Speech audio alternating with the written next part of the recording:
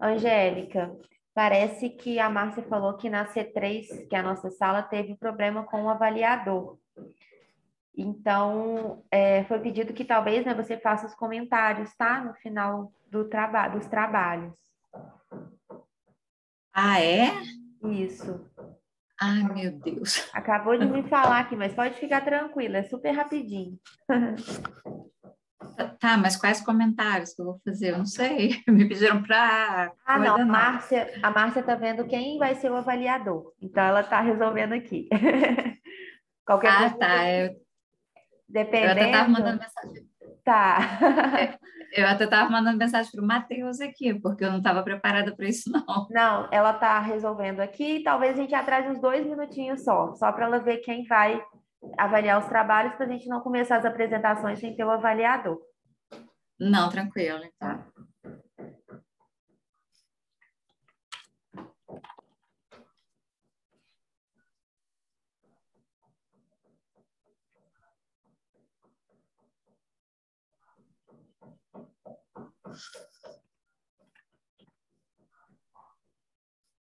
Olá, Breno, boa tarde.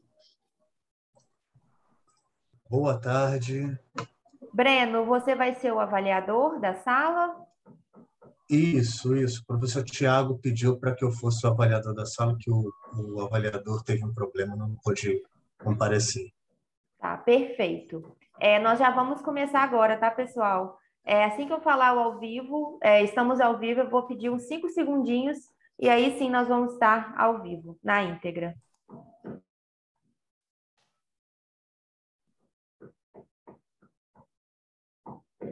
Estamos ao vivo.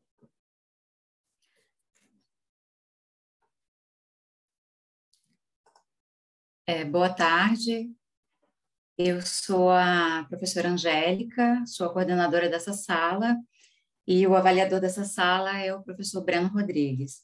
A gente vai começar com o trabalho da aluna Bruna Ramos Pérez, do campus Cachoeiro de Itapemirim.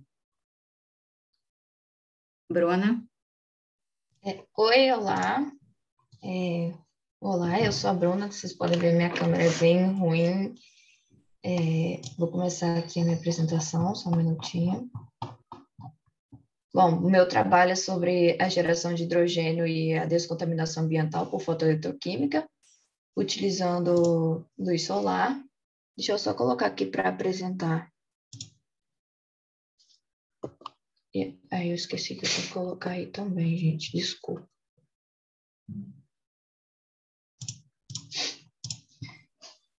Respira primeiro, Bruna. Lembra de respirar. Tá bom. Muito obrigada. Eu posso desligar minha câmera, estou muito nervosa. Share. Visualizar.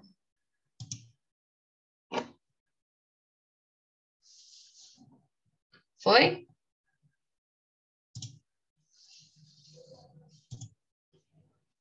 Oi, está todo mundo vendo minha tela? Sim, Bruna, pode dar sequência, estamos vendo. Bom, então, como eu já disse, o meu projeto aí, boa tarde primeiro, né? Então, meu projeto, do qual eu faço parte, é o projeto de geração de hidrogênio e descontaminação ambiental por fotoeletroquímica e utilizando luz solar. Sendo, no caso, meu plano de trabalho, é, o plano de trabalho seria a realização de testes fotoeletrocatalíticos para a declaração de glifosato em água. Bom, aqui, com o desenvolvimento do setor agrícola, e com a grande utilização de variantes geneticamente modificadas, o glifosato, que é o, o N-fosfonometilglicina, ele se destacou entre os herbicidas do, do mercado. É, isso devido ao fato dele ser um herbicida sistêmico, de amplo aspecto de ação, é, no caso, em comparação aos outros herbicidas, né? E além dele poder ser utilizado tanto em ambientes aquáticos como em ambientes terrestres. Bom, os animais, eles, eles não sofrem é, efeitos agudos em relação ao glifosato, porque eles não possuem a via do ácido químico, que é, que é no qual a via do, que, o, que, o, que o glifosato atua. Só que alguns estudos recentes, eles assimilaram a utilização de glifosato ao agravamento nos casos de transtorno de déficit de atenção é, com, hiper, com hiperatividade, no caso em localidades próximas às, às regiões agrícolas que utilizavam glifosato. Bom, E por, por que isso? Porque o, esse herbicida ele acaba reduzindo a absorção do manganês no vegetal, que é responsável pela assimilação do nitrogênio das plantas, né? Então, a, a nitrificação ela diminui e aumenta a liberação do ácido nitroso no ar, inalado pelos indivíduos, que acaba afetando aí a, o quadro de doenças psicológicas. Então, pensando nisso aí, é importante buscar meios para amenizar os danos causados pelo glifosato, e além disso, pensando também no, no nosso atual cenário aí, nosso cenário de poluição mundial aí por combustíveis fósseis, é necessário também uma fonte alternativa de energia limpa e renovável para, então, é, tendo em vista isso, essa fonte de alternativa é, de energia aí, limpa e renovável, que a gente pensou no quê? No hidrogênio, que ele é abundante, é, não poluente, dependendo do, do, processo que ele for obtido. Então, é, pensando na produção de hidrogênio aí por reações foto, fotoquímicas, é, que tem tomado proporções cada vez mais, mais promissoras, então, o nosso trabalho, ele apresenta essa aí, uma alternativa para geração de hidrogênio por fotoeletrocatálise, concomitante com a redução do glifosato em águas residuais. Bom, e os nossos objetivos foram, aí o nosso objetivo geral, ele era de armazenar energia solar, utilizando o sistema fotoeletroquímico para conversão de energia proveniente do Sol em gás hidrogênio, através de fotoeletrocatálise de água contaminada por glifosato. E para atingir esse objetivo, a gente teve outros objetivos específicos, foi construir e realizar montagem do sistema fotoeletroquímico para produção de gás hidrogênio, escada de bancada, preparar os fotoanodos é, através da, a, a, da adsorção de nanopartículas de materiais semicondutores em um substrato, no caso em diferentes ordens de deposição, determinar a eficiência de degradação do glifosato com a metodologia proposta, determinar os parâmetros cinéticos de decomposição do glifosato, quantificar o hidrogênio produzido por cromatografia gasosa, calcular o rendimento global do sistema é, e comparar a eficiência do sistema desenvolvido com alguns resultados já existentes em literaturas. Bom, agora nos nossos materiais e métodos para preparação dos fotonodos, é, a gente teve aí, primeira parte foi a limpeza das placas, né? Aí a deposição das nanopartículas, elas, elas foi realizada por processo de deep coat, então, que é um procedimento de imersão e emersão. Então, esse processo de imersão e emersão, ele foi realizado 10 vezes, é, com o tempo aí de permanência da placa submersa por 3 minutos, e depois das placas, elas, de, de, delas feitas essas imersão aí 10 vezes, elas iam para a estufa, é, para calcinação aí, em tratamento térmico a é, 400 graus Celsius. Na, na montagem do nosso experimento de bancada, aí, então, a gente teve a nossa fotocatalise, ela foi realizada em um, um reator eletroquímico de vidro, com capacidade para 250 ml, e a nossa janela de quartzo, de quartzo do, do reator é de 23 milímetros. Os eletrodos de trabalho de, e o contra-eletrodo de platina foram colocados dentro do nosso, do nosso reator, e a coleta dos gases produzidos e a retirada das alíquotas também foram feitas através do nosso reator. Então, a gente tinha um caninho para poder retirar a alíquota e uma passagem para a gente tirar o gás. Então, a gente tirava esse gás com uma seringa. Bom, agora para o teste foto, foto, fotoeletrocatalítico de análise de glifosato nas amostras, primeiro a gente utilizou uma solução de estoque de glifosato na concentração de 1.000 microgramas por ml, que foi preparada com a dissolução de 0,1 grama é, no caso de um padrão analítico de glifosato. Tá? Foi preparada também uma solução de nitrato de cobre amonical e uma solução de sulfeto de carbono. Então, é, a partir disso, é, esse reator, ele foi, o nosso reator, ele foi preenchido com essa solução estoque que a gente produziu ali para resultar numa concentração de 50 micrograma por 50 micrograma por ml. É, e durante os testes foram retiradas, no caso, como eu já disse, aí, alíquotas do, do eletrólito é, a cada 30 minutos. E o glifosato ele acabou sendo quantificado aí no final por espectroscopia é, UV-Vis. Bom, e, e como é que foi feito isso aí? Um ml da nossa solução ela foi colocada para reagir com 5 ml de sulfeto de carbono e depois foi acrescentado 1 ml de solução de amônia de cobre 2. Então, acabou resultando numa uma solução que deu uma mistura de fases, e a fase orgânica, é, a gente avolumou ela com álcool etílico, tá? Depois desse avolumar essa fase aí, a gente tirou uma quantidade suficiente aí da solução e colocou ela numa cubeta para realização da leitura aí da espectroscopia, da espectro, não é espectroscopia não, espectrofometria, espectrosfom, esqueci o nome da palavra, para a realização da, da leitura espectrosfométrica e de absorvância. Espectro, espectrofotometria. Isso, muito obrigada, muito obrigada.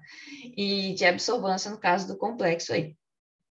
Ah, e no caso a medida de absorvância ela foi feita a 435 nanômetros. Era o que a gente tinha em mente para fazer, tá? mas na frente eu Bruna, o seu tempo está acabando já. Você tem.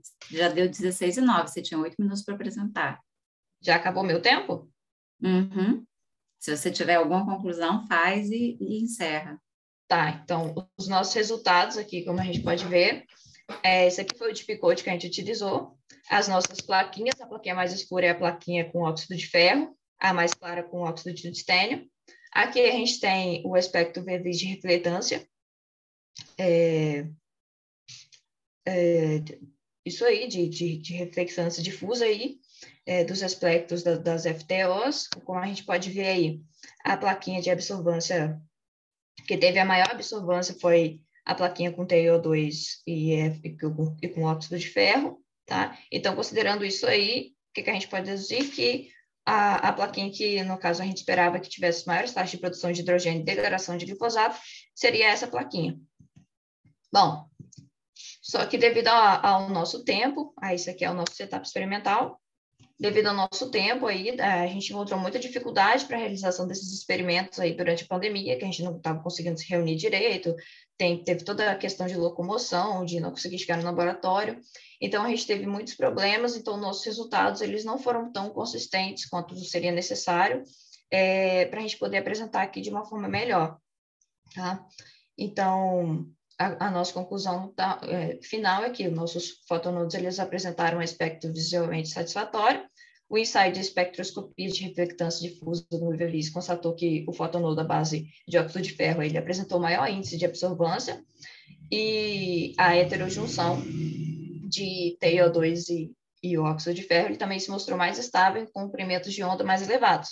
Então, espera-se que os fotonodos formados pela, pelo óxido de ferro e a junção da, do óxido de titânio com o óxido de ferro, eles vão apresentar maior atividade fotocatalítica, foi como eu disse. O setup experimental, ele foi é, completamente desenvolvido, tá? Só que em virtude do isolamento aí decorrência da pandemia, a gente não teve tempo suficiente para a realização necessária dos testes para ter um resultado conciso para apresentar para vocês. Então, isso, isso é tudo, e aqui a gente tem algumas fotos do nosso experimento, e é isso. Muito obrigada. Ok, agora a gente fica com as considerações do professor Breno. Stop share. Já é, bom, Parabéns pela, pelo trabalho, Bruna. Tá? Um trabalho muito legal, muito bem feito. Muito é, eu acho, eu acho que eu acho que você só se embolou um pouco na hora de apresentar. Eu acho que se você apresentasse, eu sei que oito minutos é pouco tempo e tal, né? A gente trabalha tanto para falar só oito minutos, é complicado. Mas se você, ao invés de ter feito aquele slide, você ter mostrado as fotos do seu experimento e, e falando sobre ele, ia ficar mais, mais tranquilo e você ia conseguir mostrar tudo que você queria. É, uma, quando você falou da, achei interessante, né, o método para você tirar um método é, interessante para você tirar um poluente do ar, tá? Só uma correção. O TDAH, ele é uma doença, você falou que ela é psicológica, ela é psiquiátrica e psicológica, são duas coisas, tá? Tem acompanhamento, mas ela é tratada muitas vezes com uh, remédios. Então, ela é psiquiátrica também, tá? Eu acho que você tinha muito objetivo específico, tá? É, muitos dos seus objetivos fazem parte do método, eu acredito, né? Quando você fala é, falar sobre comparar com literatura, isso, faz parte do método. Isso qualquer experimento você vai fazer com a literatura. Então, acho que você deveria diminuir a quantidade de, de objetivos específicos e tornar um pouco mais clara uh, porque que eu acho que uh, na apresentação não ficou muito claro. Você falou que tem a coisa do TDAH e tal, mas as rotas, deixar um pouco mais claro por que, que uh, a importância do seu uh, experimento e qual a, a visão que vocês têm de uma escala maior, né? vocês fizeram em termos laboratoriais, para pensar depois uma, uma questão mais industrial ou de larga escala, por assim dizer. Então, acredito que vocês deviam pensar, projetar esse tipo de coisa. Mas, de forma geral, o trabalho ficou bem, foi bem apresentado, então, parabéns, tá? Você e ao. Muito obrigada, é, agradeço muito, vou anotar aqui as considerações e vou corrigir isso para o futuro. Muito obrigada. Bom, dando sequência, agora a gente vai para o trabalho do aluno Gabriel Mendonça Valani, do campus Cachoeiro de Itapemirim. É, gente, atentem ao tempo, tá? E são oito minutinhos, porque senão a gente atrasa a próxima. Vamos lá, Gabriel. Boa tarde a todos. Meu nome é Gabriel Valani, sou aluno do oitavo período da Engenharia Mecânica do campus Cachoeiro de Itapemirim. E agora eu vou estar compartilhando minha tela e iniciar a apresentação.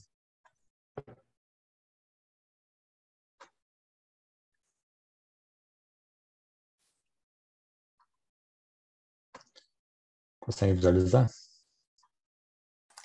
Sim, Gabriel, estamos vendo. Pode ir.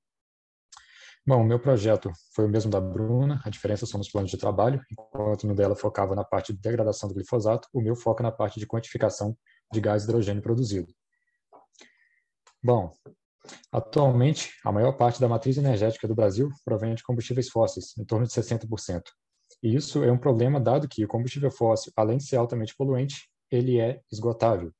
Então, diante disso, as pesquisas em energias renováveis têm se intensificado, em especial pesquisas com hidrogênio. E esse é tão importante devido a algumas características. Uma delas, ele é um elemento mais abundante, um dos elementos mais abundantes da Terra. Veículos que utilizam hidrogênio como combustível não terão motor a combustão e por isso emitirão menos ruído e além de menos poluição. O processo de produção é descentralizado, não é preciso construir usinas gigantescas como Itaipu e para a questão ambiental isso é muito benéfico. Além disso, ele é uma fonte renovável, inesgotável e não poluente. Como a Bruna já havia comentado, é, o processo de produção de hidrogênio pode ser realizado concomitante à, de, à degradação de algum poluente orgânico. No nosso caso, nós utilizamos o glifosato. E essa degradação, nesse caso, foi feita utilizando reações fotoquímicas, aplicando radiação direta da luz que simula um sol, e como resultado, nós teríamos a degradação do glifosato e a produção do hidrogênio combustível, utilizando a água como matéria-prima. O objetivo principal é justamente é, utilizar um sistema fotoeletroquímico para armazenar energia na forma de hidrogênio, utilizando a radiação solar como força eletromotriz e utilizando o processo de fotoeletrocatálise da água contaminada por glifosato. Dentre os objetivos específicos, construir e realizar a montagem do sistema eletroquímico em escala de bancada, preparar os fotonodos através da dissuasão de nanopartículas comerciais, através do método de deep coating, utilizando o equipamento que desenvolvemos durante o projeto. Quantificar esse hidrogênio produzido por cromatografia gasosa, calcular o rendimento global, comparando a entrada de luz com a saída de hidrogênio, comparar a eficiência dos sistemas com, com outros trabalhos já publicados na literatura, com materiais conhecidos. A metodologia se divide basicamente em três etapas: a preparação dos fotonodos, montagem dos experimentos de bancada e a medição do volume de hidrogênio produzido. Nos fotonodos, primeiro foram feita a limpeza dos FTOs, que, que são é óxido de estânio dopado com flúor, que é um material condutivo, e sobre ele foram depositadas as nanopartículas e, por método de deep coating. Foram 10 camadas, e entre elas uma secagem de estufa a 100 graus, por fim tratamento térmico a 400 graus. O experimento de bancada foi montado utilizando um reator de 250 ml. Na prática, utilizamos, utilizamos 170 e o resto ficou para armazenar os gases produzidos. Na janela de quartzo foi introduzida a luz, proveniente de uma lâmpada de xenônio que simula a luz solar. Dentro desse eletrodo foram introduzidos o fotoanodo e o eletrodo de trabalho, que foi o contra-eletrodo, que foi um eletrodo de platina. E Além disso, ele tinha um septo para extrair o gás e uma seringa que retirava amostras da solução.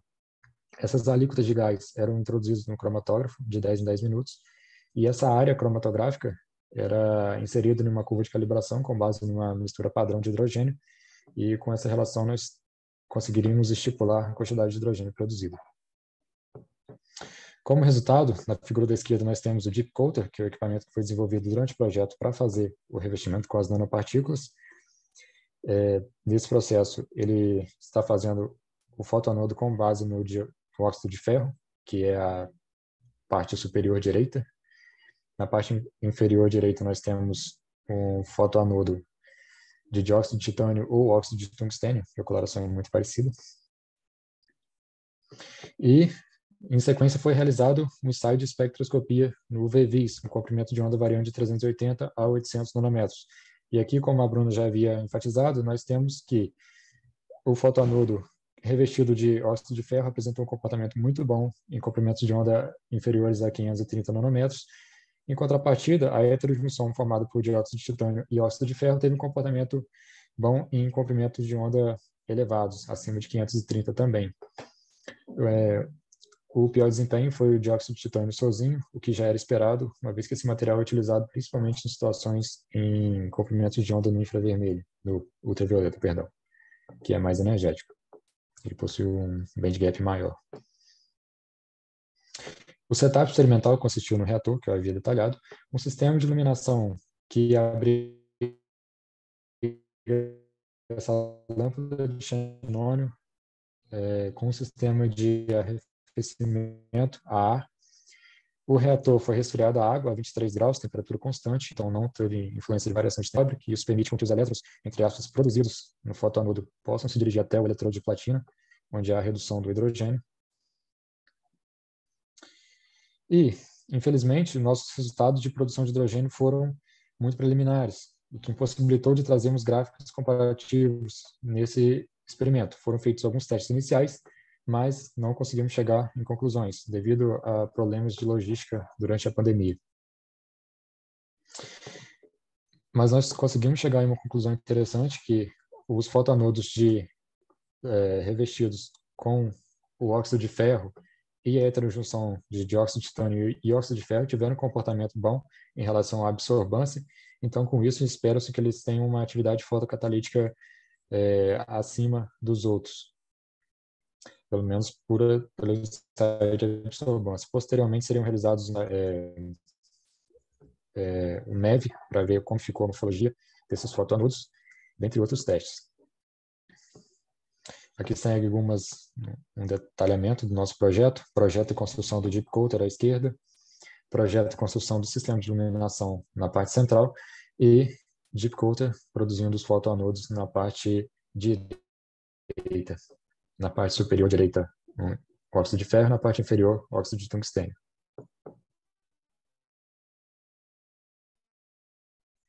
Então, meu muito obrigado.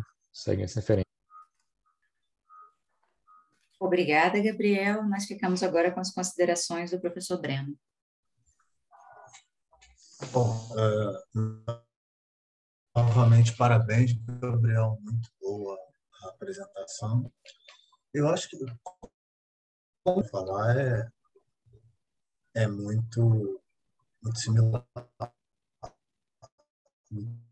É muita diferença. Tá? É, mesma coisa, acho que tem um objetivo específico demais no seu projeto, né?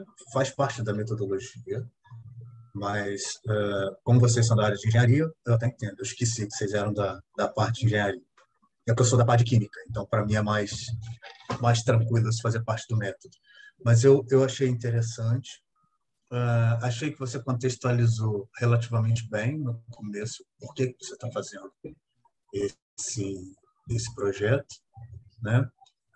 De, de novo, acho que o, os projetos ficaram muito parecidos, as apresentações ficaram muito parecidas. Vocês perderam um pouco de tempo naqueles slides de metodologia de, de, de materiais e métodos, quando vocês poderiam ter usado as figuras para ter uma para ter um fluxo melhor nas, nas apresentações. Mas o trabalho está bem feito, está bem apresentado, e eu acho que vale a pena investir mais para frente. O teórico não tem, como não tem uma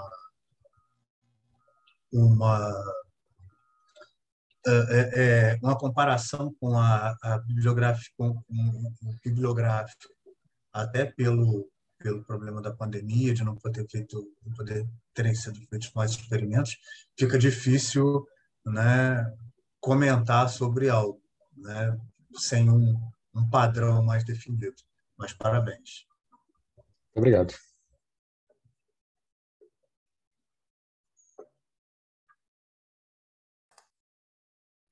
Bom, dando sequência, então, às nossas apresentações, nós vamos agora é, assistir o trabalho da aluna Luana Aparecida de Oliveira Rodrigues, do Campus Alegre. Vamos lá, Luana. Lembrando, Luana, que você tem oito minutos para apresentar, ok?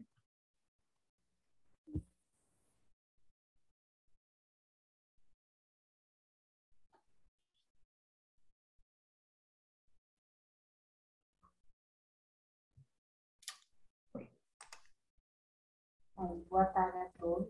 É, meu nome é Luana, sou do IPS Campos de Alegre e vou apresentar para vocês meu trabalho que é o efeito aparecido do composto citronelol sobre o tetrânico sulficado. Bom, é, os óleos essenciais, né, eles são compostos, ele, ele é composto da metabolismo secundário das plantas, né? Então ele é natural, é, ele é formado por vários compostos químicos. Ele é, na verdade, uma. É, é isso, é a, é a mistura de compostos químicos que a gente consegue dividir por caracterização química, né? E o citronelol é um desses compostos, né? É, eu, no meu trabalho, estou utilizando, utilizei o citronelol isolado, o citronol pode ser, utilizado, é, pode ser encontrado em plantas como, por exemplo, é, o capim-limão, é, gerânio, é, a citronela, são exemplos de, de onde podemos encontrar. Ele tem efeitos biológicos muito positivos, é, já foi comprovado que ele já, já teve efeitos é, sobre gêneros do, do fungo cândida e efeitos bactericidas também. É, e o tetrânico urticai, que é o ácaro rajado, né, mais conhecido como ácaro rajado, é uma praga cosmopolita, né, polífaga. Ele age sobre várias culturas, não só no, no é, não só no mundo, não só no Brasil, né, como no mundo também. É, ele ataca aí mais de 1.100 culturas que economicamente é muito importantes. No Brasil, por exemplo, a soja, o milho, o morango. E aqui no Espírito Santo, uma cultura também no norte do estado muito importante, que é o mamão. É, infelizmente, é, atualmente, né, ele é, o combate dele é feito por acaricidas sintéticos, né, os convencionais. Só que, infelizmente, ele vem gerando uma resistência muito grande. Já foi comprovado que ele tem resistência a 96 princípios ativos desses acaricidas convencionais. Então, é, e esses acaricidas convencionais, não, é, tirando a parte de ter um, um, prejudicial ao meio ambiente, também tem a parte prejudicial ao homem por, por conta do seu efeito residual na, nas plantas, né? Então, meu objetivo geral foi analisar o uso do composto isolado, nosso tronelol, no controle do ácido rajado pelo método de fumigação. É, nós utilizamos esse, esse frasco de 200 ml de vidro, é, esses copinhos de, de café de 50 ml foram forrados com algodão e papel filtro e por cima foi é, colocado um fragmento de 3 centímetros de circunferência de é, folha de feijão de coco. E nisso foi, então, colocadas 10 fêmeas de de ácaro e na tampa do, do frasco foi colado um papel filtro e com uma micropipeta foi é, utilizado, é, foi né, é, colocado as concentrações de citronelol. Nós utilizamos 21 frascos né, e três concentrações cada. E após nós é, acondicionamos em BLD com temperatura controlada a 25 graus, com foco período de 12 horas, e após as 24 horas a gente teve a análise. Essa aqui é uma foto da nossa criação de água que temos aqui no campo. É, esse gráfico mostra, então, né, a determinação da curva da série, CL50 a série 90, que é a concentração letal, que mata 50% dos ácidos, e a concentração letal, que mata 90%. E essa, esse é um gráfico é, pelo teste de Gantt que demonstra que as concentrações foram diferentes do controle. No nosso controle, nós utilizamos apenas água destilada. Então, a gente percebe que houve uma mortalidade do ácaro, houve uma mortalidade do ácaro e foi diferente do nosso controle.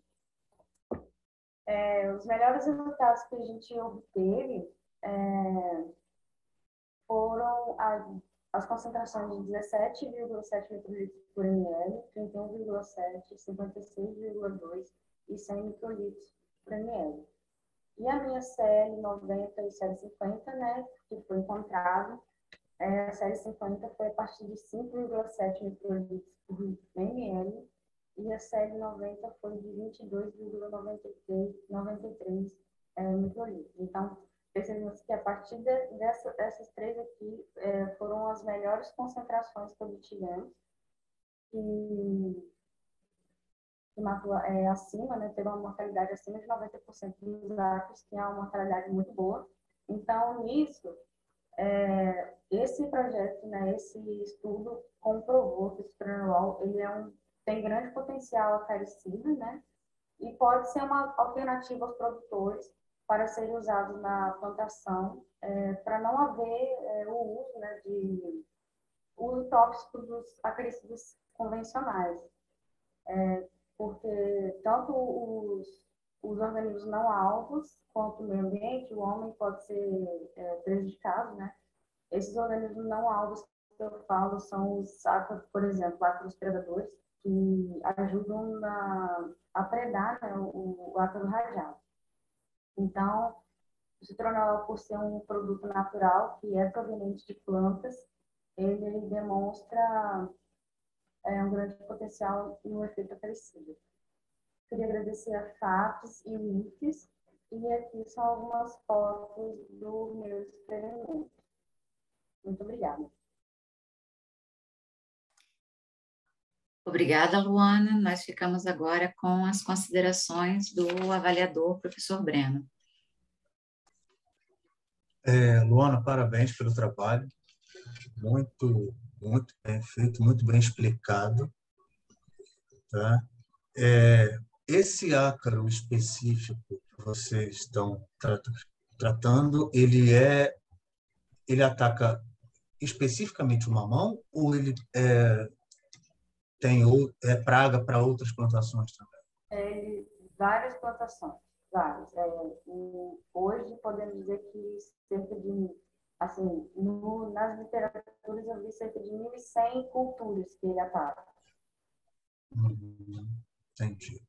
E, e, a ideia básica é vocês trabalharem com uma coisa que você falou assim. Eu entendi a ideia geral do trabalho, mas você falou ah, que o, o citronelol é natural, não sei o quê. Então você quer é, é, concentrar através da extração de folhas. Mas, assim, ser natural não significa, não significa que ele é inócuo, né? Uh, até que ponto esse ser natural, dentro do seu trabalho, uh, quer dizer que ele é mais seguro do que os sintéticos? Eu acho que isso, pelo menos para mim, não, não, não ficou 100% claro. Bom, é, na verdade, é, no laboratório a gente utiliza mais os, os óleos essenciais, né? a gente faz é, pesquisas, né? a gente faz vários testes, mas na verdade é, é isso, a gente não sabe até que ponto ele é totalmente natural a, por exemplo, a cultura, né, que a gente pode utilizar, não temos assim certeza. Ah, então a ideia é sintetizar o composto para depois levar a campo e fazer os testes. Isso. Ah, tá, entendi. Então você está na, tá, vocês estão na, na, na, numa etapa preliminar de sintetizar o composto. Entendi, entendi. Ficou claro. Então, bom, sucesso no, no trabalho, parabéns. Tá? E uh, continua assim que eu gostei muito. Eu acho que, apesar de estar bem nervosa, você foi indo, apresentou, ficou calma. E quando você percebeu, quando você tomou domínio do seu trabalho, você deixou fluir. Foi muito bem, muito, muito bem apresentado. Fiquei muito impressionado. Parabéns. Obrigada. Obrigada.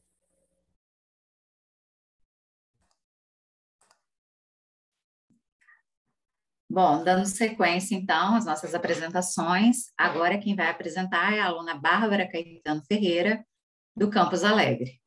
Vamos lá, Bárbara, oito minutos. Ok. É, olá, boa tarde. É, meu nome é Bárbara, né? Como foi dito, sou aluna do IFES Campus de Alegre, do curso de licenciatura é, em Ciências Biológicas. É, meu orientador é o Luciano Menini. É, na verdade, eu queria perguntar se está aparecendo certinho. Está compartilhando? Sim, Bárbara, estamos vendo sim. Ah, ótimo. É, e o meu estudo tem como título a atividade antifúngica do óleo essencial das sementes de sucupira e seus componentes majoritários sobre o fusário gutiforme, o agente causal da fusariose do abacaxi.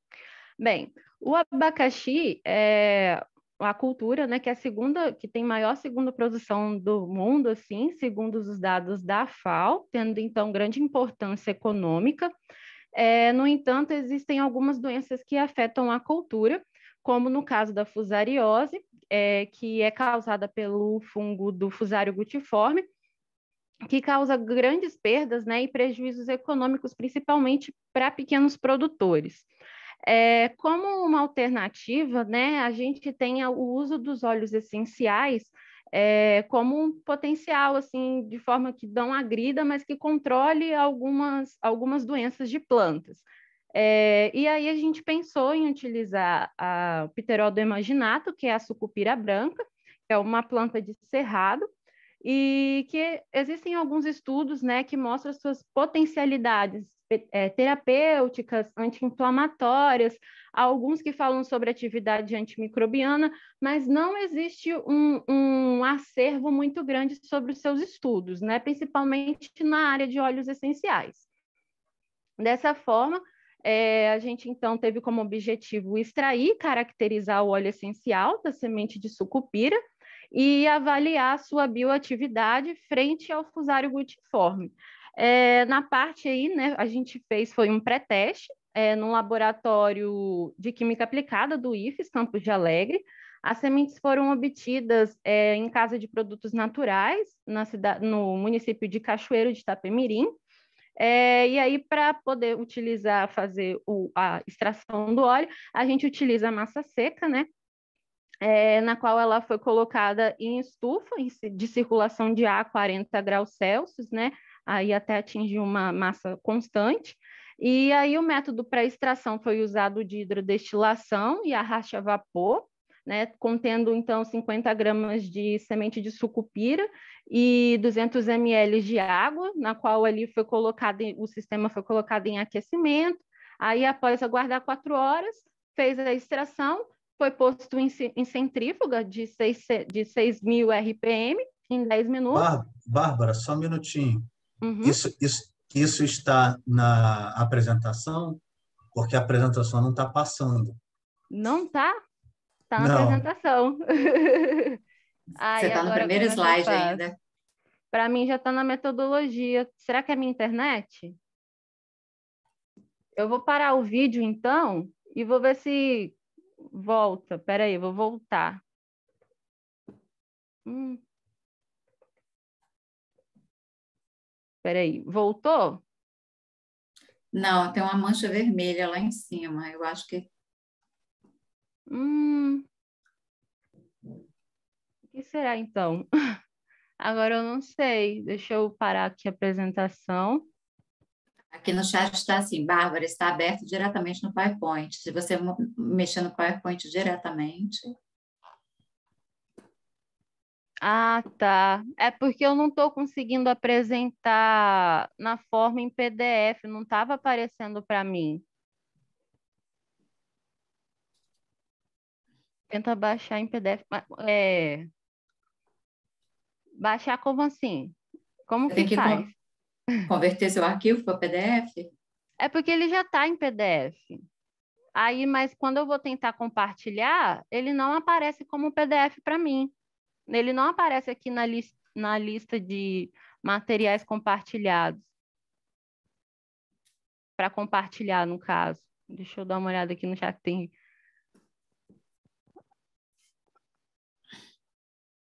É, sim, tá diretamente do PowerPoint. É, eu estava apresentando. É aquela questão que eu tinha falado com você, Carolina, não estava aparecendo para mim para apresentar em PDF.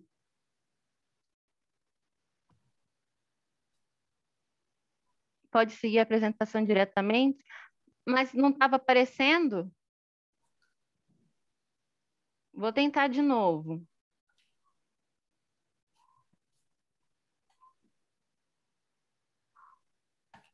Deixa eu ver aqui. Pode apresentar por lá, só você selecionar as páginas que deverá aparecer. Ah, tá. Mas está aparecendo agora? Está aparecendo a primeira, a primeira página. Tenta trocar a página agora. Agora travou para mim. Passou? Foi para a introdução? Foi para a tá introdução. Passando? Objetivo, tá metodologia. Foi? Agora está ah, passando. beleza. Ah, beleza. Ah, eu vou deixar então também a câmera desligada, que talvez a minha internet estava caindo bastante aqui, enquanto o pessoal estava apresentando, estava travando um pouco. Ok. Vou voltar então. Posso o, lá? O, o Bárbara, eu acho que a gente perdeu uns dois minutinhos, eu acho que não tem problema você passar uns dois minutinhos, então não. Eu acho que a gente está um pouquinho adiantado, né? Uhum. Aí eu acho que ninguém se opõe, tá bom? Então, você pode ir até 45, 46 por aí, tá bom? Tá bom. Sequência. Então, eu posso voltar à apresentação para mostrar? Ou, no caso, eu continuo de onde eu parei? Eu não sei, o, o avaliador... O que, que você acha, professor Breno? Acho que é melhor voltar, né? Que vocês veem tudo. Não, eu acho que ela, eu acho que ela conseguiu é, falar bem. Eu só percebi que ela estava falando e não estava aparecendo. Eu estava vendo, eu falei, eu acho que ela se enrolou um pouco, mas eu acho que ela pode continuar de onde ela parou. Tava, tava bem explicado. Então segue sim. Ah, então beleza. Eu falei do objetivo, a metodologia. Eu vou continuar daqui. E aí a gente vai dando só para voltar um pouquinho, né? Posso começar? Pode sim. Beleza. Vamos lá, Bárbara. Então, do óleo essencial para a extração do óleo essencial, né, a gente utilizou aí a técnica de hidrodestilação por arraste a vapor, né, utilizando aí 50 gramas de semente de sucupira é, seca e triturada em 200 ml de água destilada. É, após aí o aquecimento dessa, desse material, do sistema, a gente então colocou em quatro horas, né? Deixou ali por quatro horas, fez a extração, levou para a centrífuga em 6.000 RPM por 10 minutos, e aí então em seguida esse óleo foi separado e armazenado a baixa temperatura aí. É, então, para caracterização química do óleo, foi analisado então por cromatografia gasosa com um detector de ionização em chamas e a identificação foi feita por meio do espectro de massas, né, de espectrometria de massas, é, utilizando então um índice de retenção de LTPRI, que é de acordo aí com o que é descrito na literatura de Adams.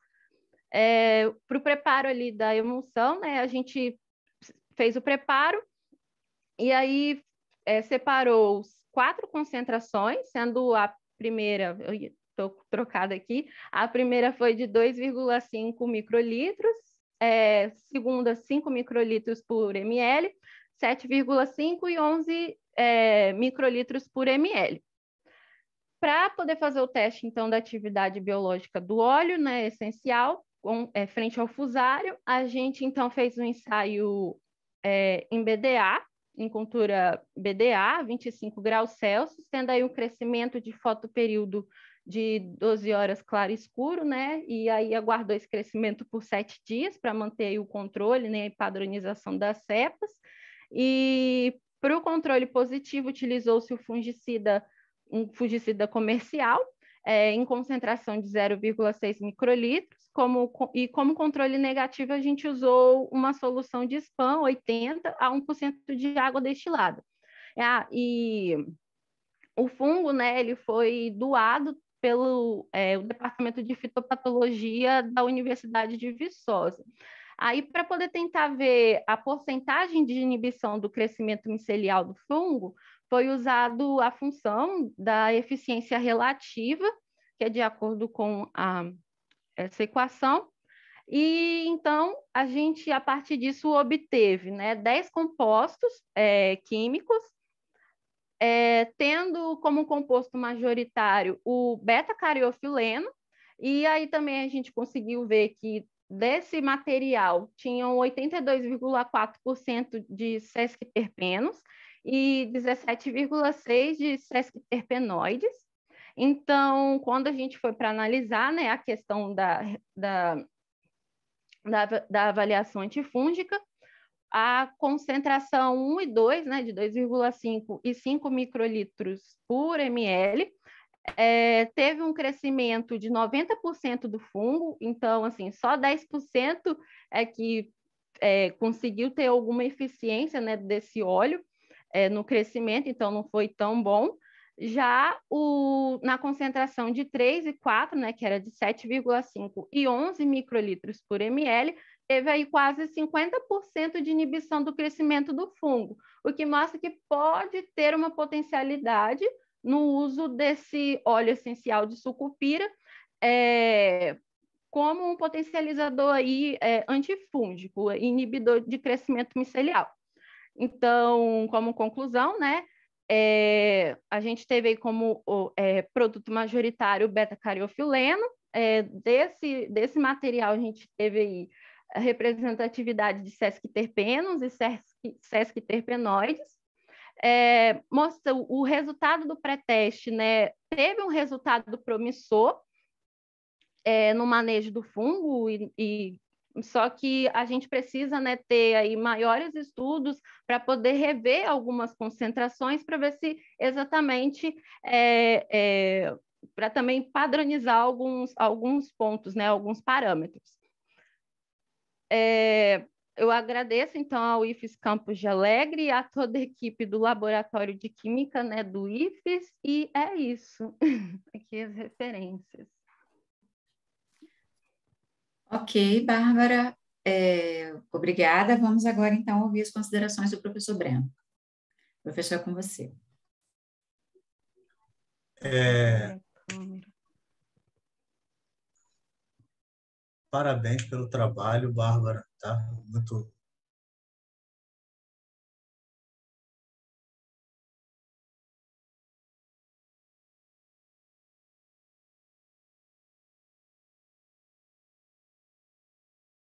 a gente precisa dar uma olhada nos parâmetros, né? É, é, que tipo de parâmetros que vocês precisam ainda acertar? Né? Você falou, a gente tem um certo sucesso no manejo do fundo, né? Mas o que que ainda não ficou legal? Quando a gente fala assim, para quem ouve, parece ó, tá dando certo, mas ainda tem alguma coisa para acertar. Eu queria que você falasse um pouco mais sobre isso. Então, para poder tentar acertar, a gente precisaria fazer esses mais, mais testes, testar novas concentrações também, até porque a gente não teve uma variância muito grande de concentrações para que pudesse dizer que realmente aquele resultado é, é positivo de fato, sabe? O que a gente tem ainda é, é pequeno, e como é um pré-teste, teve problemas também na questão da, do, da pandemia, a gente teve algumas, né, é, algumas coisinhas aí de logística dentro do laboratório que atrapalhou um pouco a, a, fazer esses testes, então a gente não conseguiu ter assim um resultado de fato que eu fale, não, é isso, isso e isso, sabe? Entendi, entendi. Você é, é, o que você falou, né? Os resultados preliminares são promissores, mas a gente precisa aprofundar. É, pergunto, qual existe alguma algum algum impacto ambiental dessa molécula, dessa desse dessa substância que você está testando? Tem alguma coisa na literatura? Isso da, da, da, da verdade, do, do composto que vocês estão sintetizando. Ah, sim, do, do caso beta-cariofileno, né? Que, na verdade, Isso. a gente queria entender, primeiramente, quais eram os compostos que estavam presentes no óleo, né? Até porque também, como um óleo essencial, ele tem volatilidade muito alta, né? Então, e também vai depender, como ainda é algo que é in vitro, né?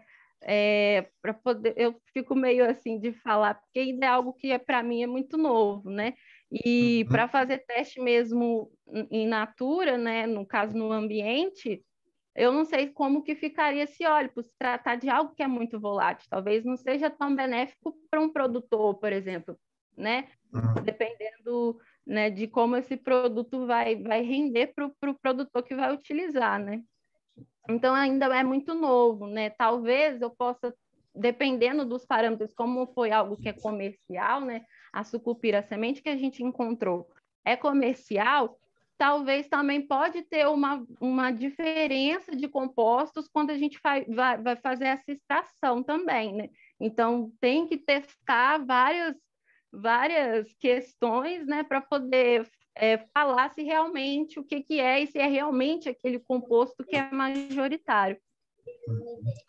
Não, eu, eu acho, acho interessante, eu, eu gosto de provocar essas perguntas justamente por isso, mas é, não é para não é no intuito de dizer que está bom ou está ruim, está certo ou está errado.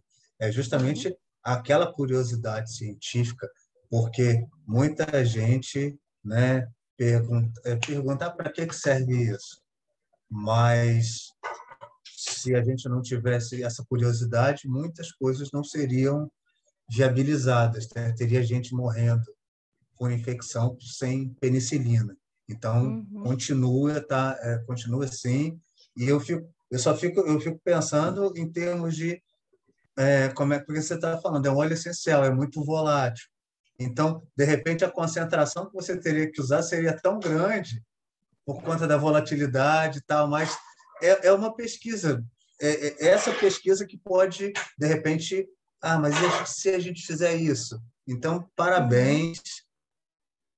É, é, através dessa curiosidade que a gente caminha, tá? Muito e, e bem apresentado, apesar de você estar tá enrolada com a internet e nervosa, Eu mas gostei bastante. muito da você, não, você manejou muito bem isso. Então, parabéns, Bárbara. Obrigada. Bom, vamos lá, dando sequência então às nossas apresentações. Agora é, vamos ficar com o grupo de Priscila Ponati de Souza, Elisa Ângela Piva Rocha e Samuele da Silva Ravani. Se vocês puderem dizer o campus, porque eu não tenho aqui. Vamos lá.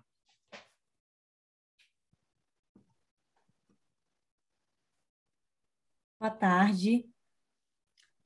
Meu nome é Priscila Ponati, estarei apresentando esse trabalho junto com a Samuele Ravani, e nós somos do campus, do Núcleo de Química do campus Aracruz, né?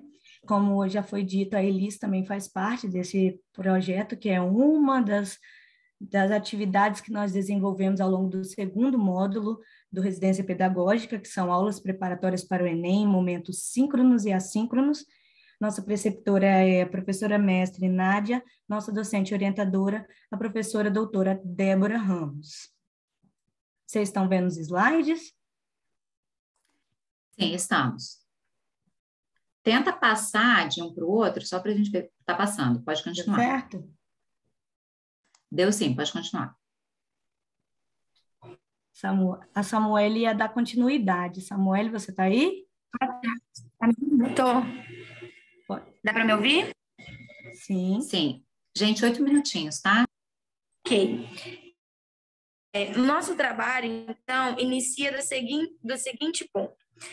É, em decorrência da crise sanitária que iniciou no mundo no ano de 2020, é, provocou, então, a educação presencial, tanto escolas públicas como privadas, elas tiveram que ser paralisadas, afetando toda a comunidade escolar. Sendo assim, essa situação, ela interferiu principalmente na aprendizagem, nos desejos e nas perspectivas de muitos estudantes. Devido a algumas circunstâncias, é, então foram necessárias realizar mudanças nas metodologias educativas empregadas a fim de que não houvesse interrupção nos estudos. É, então, assim, o ensino presencial se tornou inviável durante a pandemia. Então, adota-se o modelo do ensino remoto, onde se passou a ser a modalidade utilizada pelas escolas públicas e privadas. É, a utilização da ferramenta tecnológica foi o meio que permitiu a realização das aulas e a comunicação entre aluno e escola e aluno-professor de uma forma mais segura. Esses meios tecnológicos, eles vieram para ficar e essas ferramentas, quando disponíveis, elas podem ser utilizadas para vencer desafios relacionados à aprendizagem, é, nas dificuldades dos estudantes, como também uma forma dinâmica é, a fim de ajudá-los e incentivá-los a estudarem. Pensando nessa dificuldade, os alunos da, do terceiro ano da escola de, onde atuamos de campo foi o Misael Pinto Neto, é, os alunos do terceiro ano eles passaram praticamente dois anos estudando de forma exclusivamente remota. É, essa etapa do terceiro ano é muito importante, pois onde esses estudantes concluintes estarão finalizando o ensino médio e muitos deles realizarão a prova do Enem. E uma porta de entrada para esses estudantes para a graduação. Foi assim, então, que desenvolvemos o projeto na realização de aulas preparatórias para o Enem, em momentos síncronos e assíncronos. Pode passar, Priscila, por favor. O objetivo, então, dessa intervenção seria auxiliar os docentes na interpretação e na resolução das questões de química das provas do Enem, como também incentivar e estimular os alunos a realizarem a prova do Enem no ano de 2021 e esclarecer dúvidas e revisar conteúdos trabalhados em salas de aula, e auxiliando os educando também com relação às provas escolares. Pode passar, por favor?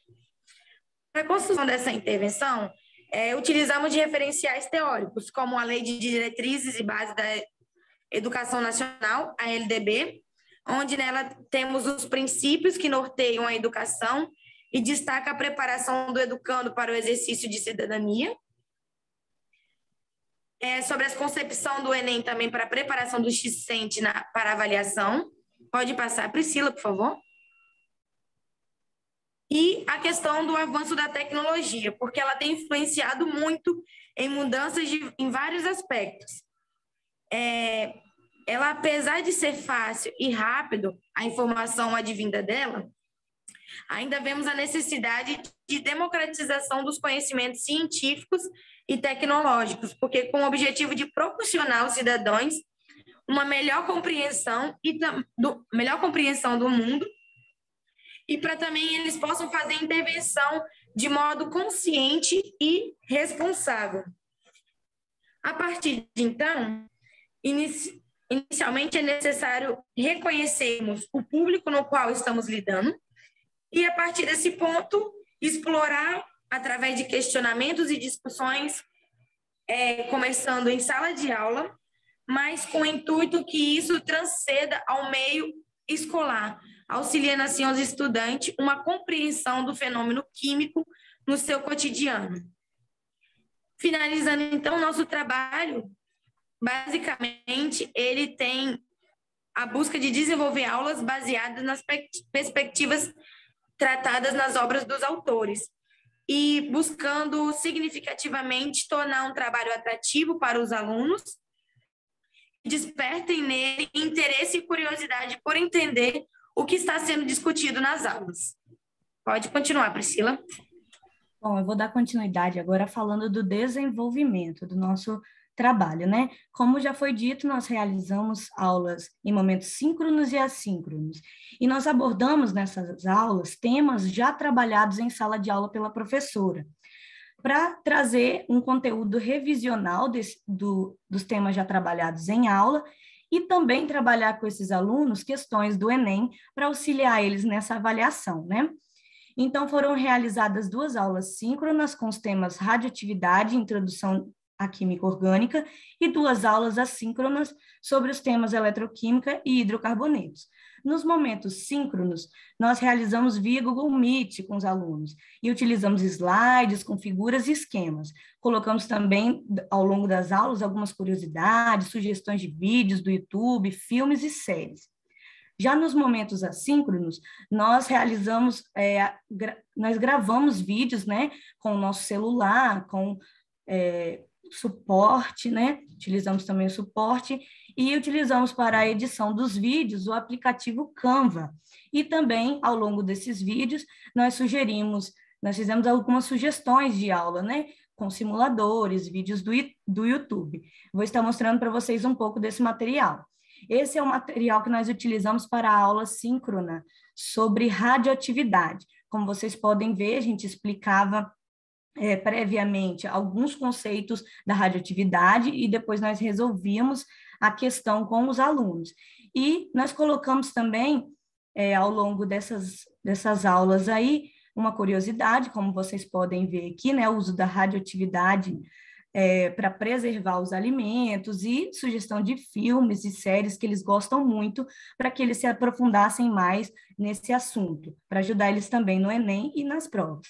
Aqui são algumas imagens da videoaula de eletroquímica e aqui a sugestão da aula, que foi um simulador da pilha de Daniel, que está disponível nesse site aqui no NUAS. É um, um simulador muito legal, porque os alunos conseguem visualizar através dele como funciona a pilha de Daniel. Nesse, nesse outro slide aqui, vocês veem algumas imagens da videoaula sobre hidrocarbonetos.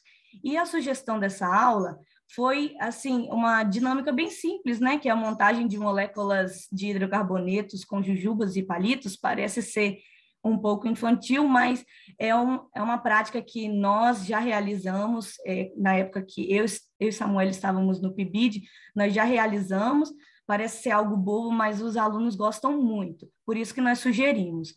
E, por fim, nós temos aqui algumas evidências da, da nossa aula síncrona de introdução à química orgânica, aqui a, a questão trabalhada, né, resolução, e a sugestão da aula foi um vídeo que resume né, um pouco sobre a introdução da química orgânica, que está disponível no canal Toda a Matéria.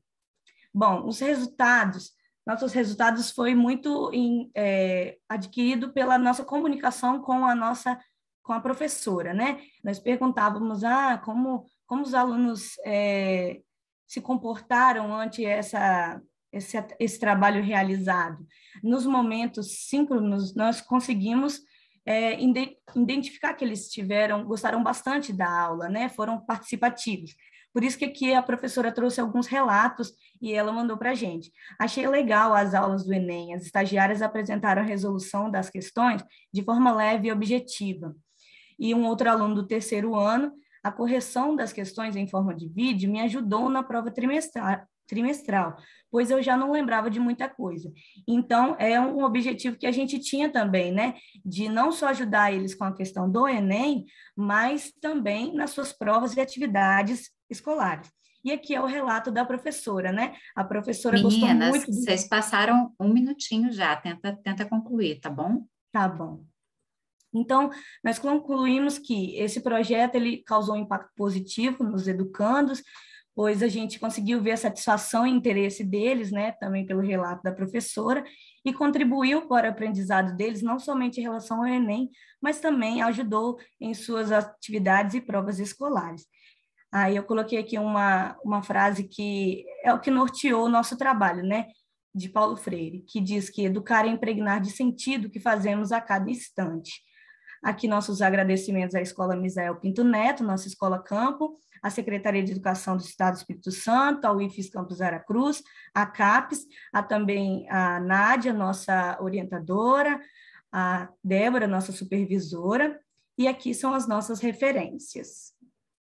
Agradeço. Obrigada a Priscila, Elise e Samuele, e agora a gente fica com as considerações do professor Breno. Bom, vamos começar pelo básico, né? Parabéns pelo trabalho das duas. Eu acho que é sempre interessante pensar na educação, pensar em formas de educar. Tá? E eu vou começar de trás para frente. Né? A, a Priscila ela falou, colocou a frase do Paulo Freire: educar é impregnar, educar é impregnar a de sentido, sentido tudo o que fazemos, né? Qual Isso. o sentido, qual efetivamente o sentido que vocês queriam colocar aí? A gente quis demonstrar que a química ela faz parte do cotidiano do aluno, porque o aluno ele pensa que a química ela é muito abstrata, ela é muito difícil de compreender, então, a gente tentou mostrar nas nossas aulas é, do Enem e também em outras atividades, né? não só nessa, que a química ela faz parte do nosso cotidiano, ela está ao nosso redor, ela está em tudo. Então, a gente sempre mostrou, através de uma curiosidade, através de, de alguns exemplos, através de vídeos, que de diversas formas, né, de dinâmicas, para mostrar para eles que ela está é, que a química faz parte de tudo, para eles verem que a química não é essa coisa abstrata que eles pensam ser, e que ela pode ser compreendida sim. Não é difícil de se compreender, basta querer, né? E incentivar eles também a buscar mais pela química, porque eles já têm essa barreira, ah, não, a química é muito difícil, eu nem, vou, nem vou tentar, né? Nem vou me aprofundar nisso, não. Então, para tirar essa barreira, né, de que a química é difícil. Não, tudo bem. É, só que toma, toma cuidado, tá? Tome muito cuidado quando você fala assim, ah, basta querer. Não é bem assim, né? Não é, não basta querer. Você faz química, né? A gente toma pau em cálculo, toma pau em física, se mata de estudar e continua tomando pau e é basta só querer e passar? Não é bem assim. Então, cuidado com essa narrativa do basta só querer, que, por exemplo, a gente vive num país em que as pessoas elas estão se matando para conseguir pegar osso para comer. E aí você vai fazer uma coisa que precisa de internet. Né? Como é que a gente é, resolve uma coisa em relação à outra? Você está trabalhando com um grupo específico de alunos. Você está trabalhando. Então, assim, eu acho que a gente tem que tomar cuidado com determinados discursos. Né? Querer não é poder, senão todo mundo fazia parte dos X-Men. Tá? Então, assim, acho, acho é, perigoso e temerário essa. Eu acho assim, incentivar, né? mobilizar a vontade. A mesma coisa que quando a, a Samuele falou, ah, porque mudou o desejo dos alunos, né? O que desejo é uma palavra ampla. O que que vocês entendem por desejo? Né? Eu, não, eu acho que assim, quando a gente mexe com educação, a gente está trabalhando com conceitos um pouco amplos. Então a gente precisa ter cuidado com o que que a gente fala. É diferente, por exemplo, ah, a Luana que apresentou uh, o, o, trabalho sobre a molécula. Você tem uma metodologia, você tem uma coisa, tem um, você tem um padrão. Quando a gente trabalha com educação, a gente mexe com uma coisa muito abstrata que é o ser humano. O ser humano não é um dado. Então é isso que às vezes me preocupa, tá? É outra coisa também que eu queria que vocês comentassem. Eu vou falando as coisas e depois vocês comentem. É que a, acho que a Samuel que falou também, o terceiro ano é importante. Por que, que o terceiro ano é importante? Só porque ela é, ele é entrada para o Enem? Porque ele é entrada para o ensino superior? Então, tá vendo? Você, você mexe com o Paulo Freire, trabalha com Chassot, da alfabetização científica, da democratização da tecnologia, mas muitas vezes você trabalha com a tecnologia como um já dado. Tá? De novo, assim como todos os trabalhos, eu estou fazendo provocações ao trabalho de vocês. Eu não estou, de forma alguma, uh, dizendo que o trabalho está mal feito, está ruim, né? nada, muito pelo contrário. Eu acho que qualquer trabalho ele é ótimo. Essas uh, reuniões que nós temos aqui, elas justamente para a gente pensar outros possíveis desse trabalho. Tá? Mas parabéns, tá? E, e a última coisa que eu queria perguntar, que eu falo assim, é, é, que é uma coisa que eu, eu tenho problema com o Chassot, com a Schnetzler e com o orientando do doutorado da Schnetzler, que eu esqueci, que eles falam, eles, eles falam muito isso, né? O Maldaner, essa galera toda. Ah, isso vai melhorar a compreensão do mundo. Essa é outra frase que eu acho muito perigosa. Por quê? Que compreensão e de que mundo a gente está falando? O que que, o que que se quer dizer com isso? Entendeu? É isso que eu estou falando. A língua, ela, é, ela não é um dado, ela é negociada. O que, quando eu falo uma coisa, quando você fala outra coisa, a gente, aqui meu filho, a gente é, entende coisas diferentes. Então, é, só, só para tentar a, a, naturalizar as coisas, porque é assim que se naturaliza uh, o fascismo, a homofobia, a pobreza, a, a reprovação, para vocês que vão ser professoras, tá? só para tomar cuidado com isso. Parabéns pelo trabalho, tá? E continue pensando em educação, que a gente precisa muito.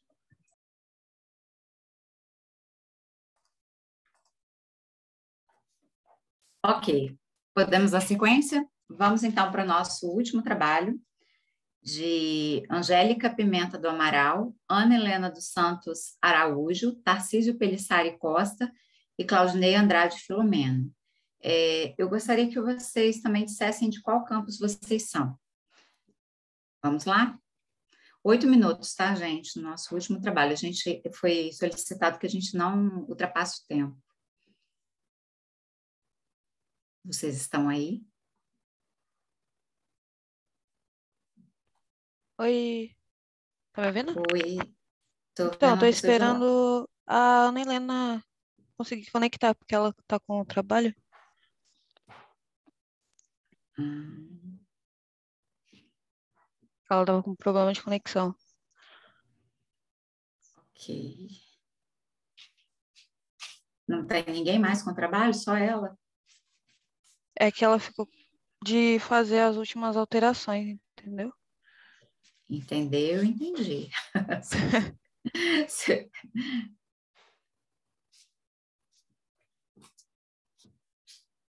Eu acho que alguém, eu acho que ela ah, já tinha até testado esse trabalho, não tinha testado a apresentação. Um momento. Agora. Uhum.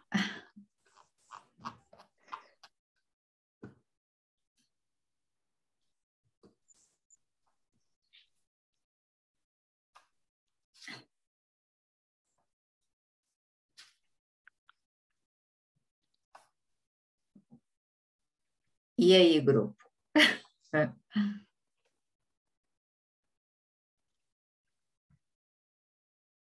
Alguém consegue falar com a aluna? Ela vai conectar, não vai conectar? Estou mandando mensagem tá... para ela agora. Já são 17 12 tem que apresentar e o, e o avaliador ainda tem que fazer as considerações. E eu tenho uma sala 17 e meia, então eu não posso atrasar também. Estou mandando mensagem para ela, ela falou que está tentando entrar. Está conectando em outra internet.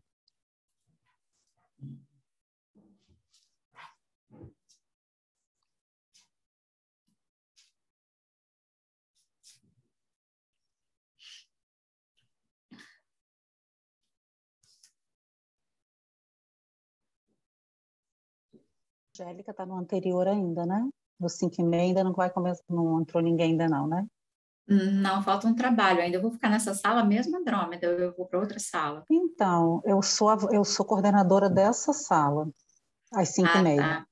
A sua deve ser não. outra, então. Deve ser outra. É porque a gente está com, um, com um trabalho para apresentar ainda.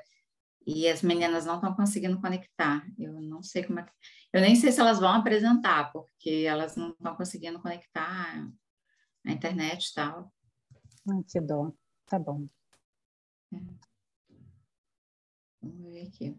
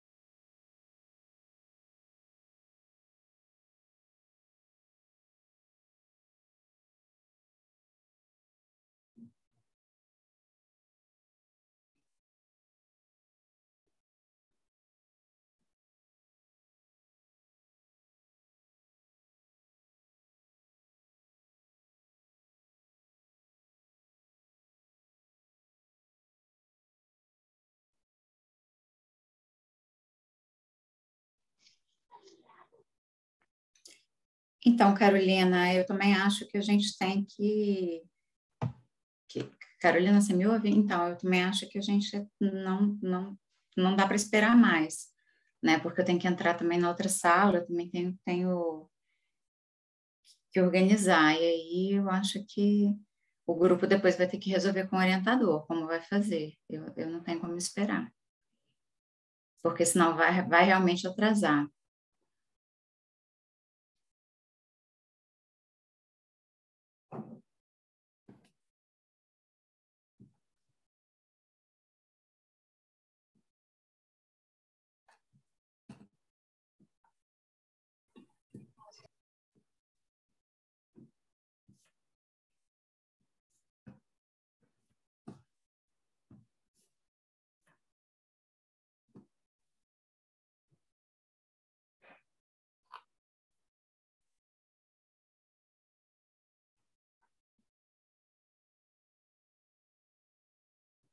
Bom, grupo, e aí? Ou vocês começam agora ou a gente não vai poder esperar mais. A gente não tem como ficar esperando a colega de vocês. Eu acho que ela conseguiu conectar. Deixa eu só confirmar aqui. Ana Helena tá aí? Oi, tá me ouvindo? Estamos, Sim. Ana Helena. Pronto, Você mandou, pode? eu te- você mandou o negócio lá no, no WhatsApp, né? A apresentação. Sim. Vou abrir aqui. Gente, vocês têm oito minutos cravados. Vocês não podem atrasar nem um minuto. A apresentação vai ser bem breve, eu tive problema aqui com a internet. Ok. Já está contando esses oito minutos? Pode falar quantos minutos a gente tem? Tá contando. Vocês têm até 16 e 20, 17 e 22.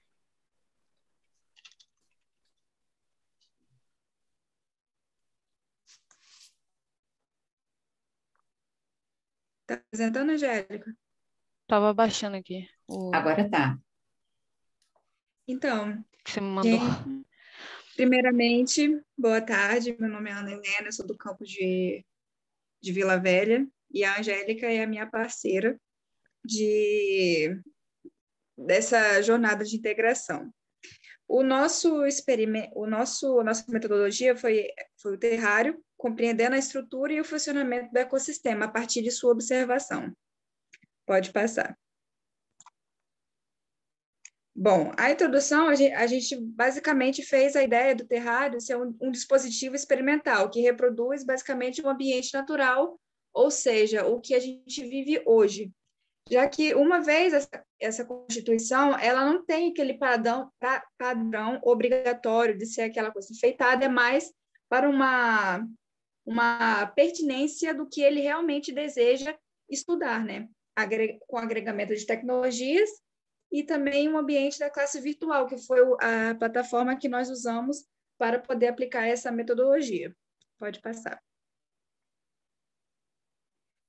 Obje o objetivo da, dessa intervenção foi basicamente observar, porque tivemos que montar um terrário, a partir das suas observações, montar um relatório de forma que possa acompanhar os ciclos e as etapas de cada de cada etapa de ciclos de, como por exemplo, o ciclo do nitrogênio, hidrogênio, ciclos naturais, e cultivar, porque te, houve a plantação de uma semente. Bom, o nosso principal referencial teórico foi Vygotsky. A gente até teve uma palestra com ele, e, bom, basicamente o que fundamentou nosso, a nossa metodologia foi a afirmação que o critério mais importante para valorizar o conhecimento seria a, o, o, destacamento da importância do, do, da observação das experiências através do, do seu olhar prático. Pode passar. O desenvolvimento foi feito em etapas, basicamente, seis etapas com os alunos do terceiro ano da Escola da Rede Estadual do Godofredo Schneider, que está localizado na Prainha, conforme através da plataforma do Google Classroom, que foi a plataforma que nós escolhemos para atuar, e foi através de lá que nós obtemos alguns resultados parciais, porque a proposta ainda não foi concluída. Pode passar. Bom, as atividades foi a apresentação da metodologia no momento inicial e a, e a instrução de como montar. Houve, no segundo momento, um questionário avaliativo avaliando aspectos físicos, químicos e biológicos, e, no terceiro momento, abordagem de fenômenos químicos, físicos e, e observados na proposta, como o desenvolvimento de uma tabela com compostos do solo. E em quarto lugar foi a conclusão, que nós estamos ainda em computação dos resultados, pois a proposta ainda não foi concluída. E aí está alguns resultados do relatório que foi apresentado. Pode passar. Resultados, temos a tabela da, de observação do terrário. Pode passar. O terrário montado pelo, pelo aluno, um terrário fechado, pode fechar, pode passar. E as conclusões, ainda houve assim pouca aderência dos alunos, devido assim vários vários aspectos que podem trazer um, um aluno não é, não participar de uma intervenção, às vezes aspectos de internet, outros têm mais acesso, outros não. E a nossa teve, como teve pouca aderência, acho que creio que foi essa mais questão do, do ser a distância, né, que complicou que acabou tendo baixa aderência, né? A atividade foi despertada como uma avaliação do meio ambiente, né, em questão de, de na qual estamos inseridos, sensibilizando a importância da naturalidade que compõe o lugar e principalmente a, as possibilidades que abrangem na metodologia que a gente pode usar no meio do ensino-aprendizagem, né? Para agradecer, a gente tem agradecimento da escola do Godofredo, né, que foi a escola que nós estamos atuando, a Secretaria de Educação, principalmente a UIF de Campos de Vila Velha, a CAPES, é todo apoio, disponibilidade que supervisores e professores tiveram com a gente. E aí estão as nossas referências, e novamente eu peço desculpas aí pelo meu atraso, ter falado rápido, não sei se eu estourei o o tempo. E novamente quero agradecer pela paciência que tiveram, e, e foi essa a nossa proposta para essa jornada. Obrigada, meninas. É, não estourou, não, tá? Dentro do limite, vocês estão dentro do tempo. E agora a gente fica com as considerações do professor Breno. Vou tentar ser o mais rápido possível para liberar a professora Angélica, que ela tem outra atividade. Parabéns pelo trabalho, tá? Essas coisas acontecem. Tá? É a única coisa. Ainda bem que estava desligado o microfone.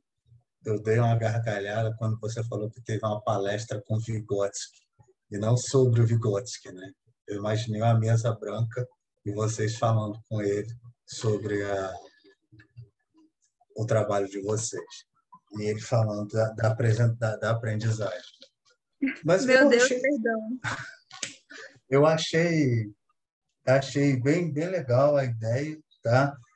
Acho interessante vocês trazerem isso, não, não, não coloquem como uma falha que os alunos não aderiram, eu acho que muitas vezes é interessante você pensar, a gente tentar pensar por que, que eles não aderiram, porque às vezes vocês que vão ser professores, alguns até já são, dependendo do período, né? Às vezes você chega todo empolgado e fala: "Nossa, arrumei um trabalho maravilhoso, agora, nossa, vou dar a aula".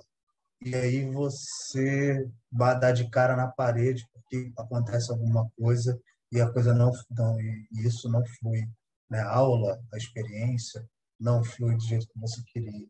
Isso faz parte, né? até como a Priscila comentou, faz parte quando a gente mexe com o ser humano, né? Não é uma ciência exata. Esse é, é um dos principais incômodos que eu tenho quando a gente trabalha com com determinados uh, teóricos de educação. O professor tem que fazer isso, o professor tem, como se o aluno estivesse lá pronto e, e como se ele não tivesse outros problemas, né? É, realmente, concordo, Priscila. É, mas eu acho que abre debates e a gente está aqui dentro do instituto exatamente por isso. Agora, é, né, para a gente trocar ideias. Vocês conhecem outros professores, eu mesmo mexo com essa parte de educação.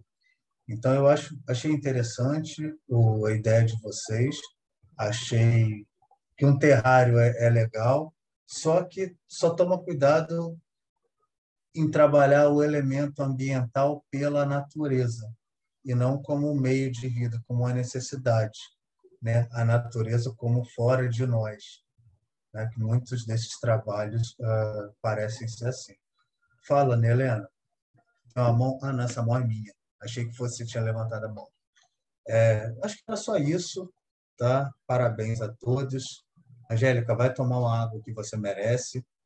E obrigado pelo convite e pela oportunidade de estar aqui trocar um pouco das nossas experiências com vocês. Agradeço muito a todos.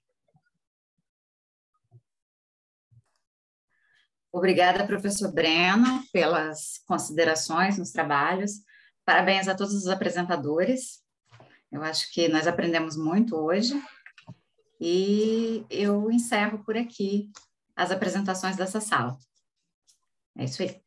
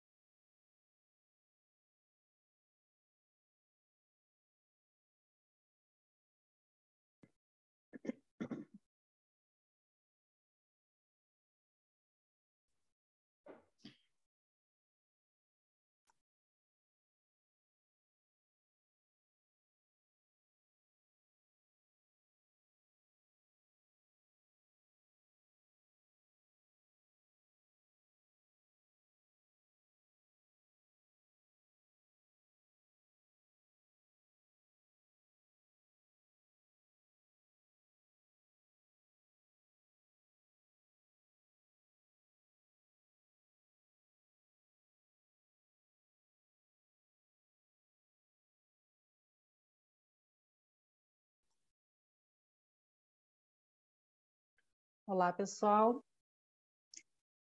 Boa tarde, eu sou a professora Andrômeda. É, a nossa sessão começará às 17h30, é a D3 aqui.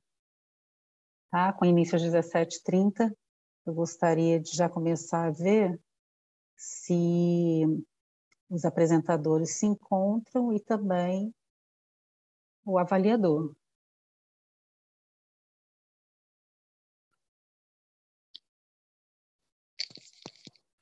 Boa tarde. Boa tarde. Você, o William é do primeiro. Isso, William e do primeiro. Abordagem investigativa para ensino de conservação de energia. Joia.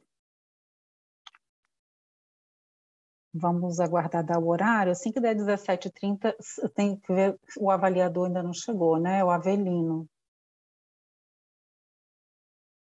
Já deve estar chegando, porque a gente está saindo de um e entrando em outro, pode ser que, que ele atrase um tiquinho.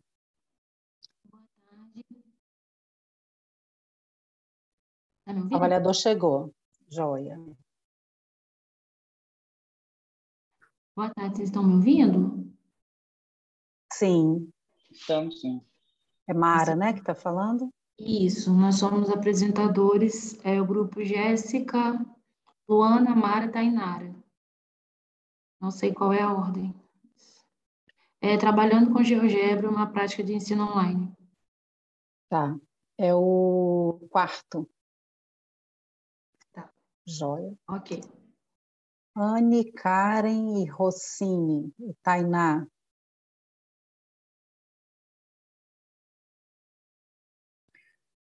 Marcelo Miranda. Tá. Marcelo está aí? Joia. Estou aqui. E Jéssica, Luana. Luana, Luana está aí, né? É, é esse então, que eu falei é outra... agora. É Jéssica, Luana, Mara e Tainara. Tá, certo. Estamos todos aqui. Certo. Então tá, eu só não vi. O áudio aqui dá para escutar? De boa? Estou escutando direitinho. Okay. Se todos que vão falar quiserem testar, seria bom.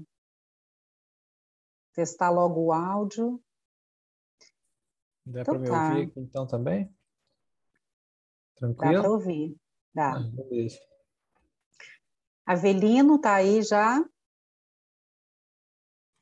Tô sim, Andrômeda. Boa tarde a todos. Joia. Eu Boa tinha entrado tarde. antes, mas estava tendo outras apresentações. Aham, eu um também entrei e acabei, acabei ficando esperando. Tá, mas estou aqui à disposição. Tá jóia. Obrigada, Avelino. Bom, pessoal, então já vou me apresentando aqui. Ah, O primeiro grupo, o primeiro, o primeiro, os apresentadores já estão aí, tá? Meu nome é Andrômeda, eu sou coordenadora dessa sala e o Avelino é o avaliador de vocês. Então, é, deixa eu só fazer uma coisa aqui. Bom, vocês têm, então, oito minutos, cada, cada apresentador tem oito minutos, né? Cada trabalho tem oito minutos para apresentação e cinco minutos, no máximo, para avaliação. Certo? Então, esse, esse tempo é máximo, tá, gente? Vamos tentar não atrasar para que a gente possa é, chegar até o final tranquilamente. Ok? Então, vamos lá. Pode começar Felipe e William.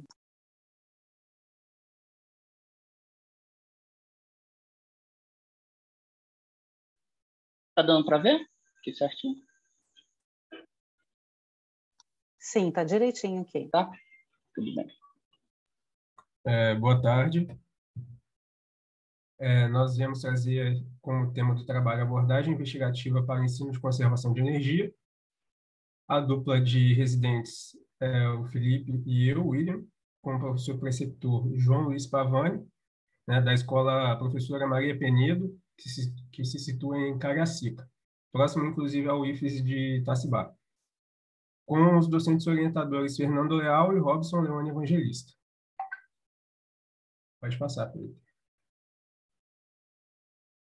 Bom, é, a pandemia trouxe inúmeras dificuldades, né? Para seja em qualquer área, e na área da educação não poderia ser diferente. Então, houve a necessidade de readaptarmos a maneira é, com a qual nós temos contato com os alunos, direcionamos os, os conceitos, né, é, aos alunos. Então, é, nós pensamos em uma forma de tratar as, a, os aspectos da conservação de energia né, é, da forma mais apropriada, utilizando tecnologia, a tecnologia, já que um momento síncrono também não seria possível. Pode passar. Então, como objetivo é, geral da nossa intervenção, é analisar como esse, o uso dessa metodologia de ensino ativo contribui para a assimilação dos conceitos relacionados à conservação de energia. E os específicos são, é, nós é, objetivamos com os alunos distinguir as formas de energia, fazer com que eles é, compreendam que as diversas formas de energia, né, e bem como identificar como ocorre essa conservação de energia dentro do contexto de, de vivência do aluno. Pode passar. Então, o referencial teórico que a gente usou foi a gente se baseou bastante no ensino no livro, que é o Ensino por Investigação, Calor e Temperatura, da Ana Maria Pessoa de Carvalho. O intuito mesmo era que a gente fazesse com que o aluno ele tinha um, uma relação com o dia a dia dele, essa parte da conservação da energia, para que ele possa entender onde que ele, onde que poderia é, enxergar a conservação de energia e ter um melhor entendimento também. E, e a outra parte é para que o aluno também tenha um pouco mais de pensamento crítico na parte científica para entender um pouco melhor como que, que é esse como como fu funciona esse entendimento científico.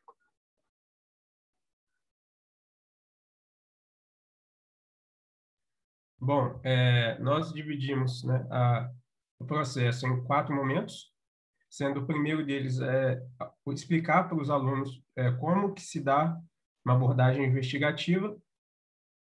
No segundo momento, nós é, é, direcionamos aos alunos um texto do Gref, né, visto que o Gref ele é um, uma forma textual é, lúdica e bastante autoexplicativa, né?